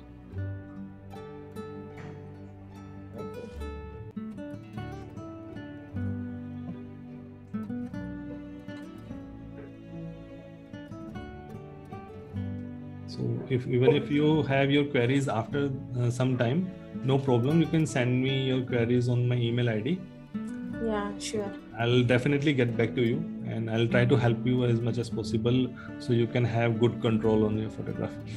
Yeah, thank you. I can WhatsApp you too. Can I WhatsApp? If I any query. You can you can easily send me mail because it will be helpful for me to get your get back to you on the email. Okay. Because I can't give you detailed information on the WhatsApp. It's very difficult to share some information. Oh, okay. Thank you. Most welcome. Shall I leave? Yes, we, we can conclude this session now. Thank you. Thank you. And please submit your feedback, please. Yeah. Uh, I'm always looking for the feedback because uh, I need to add this, make this content more accomplished, more uh, we can say the complete package for beginners, so they'll know they'll feel more comfortable when complete this workshop. So there should be no topic I should left that's why i'm including more and more. So if you think you can you need more information or some part which i should cover in this basic photography workshop i can include no problem. Yeah sure. Thank you. Bye bye bye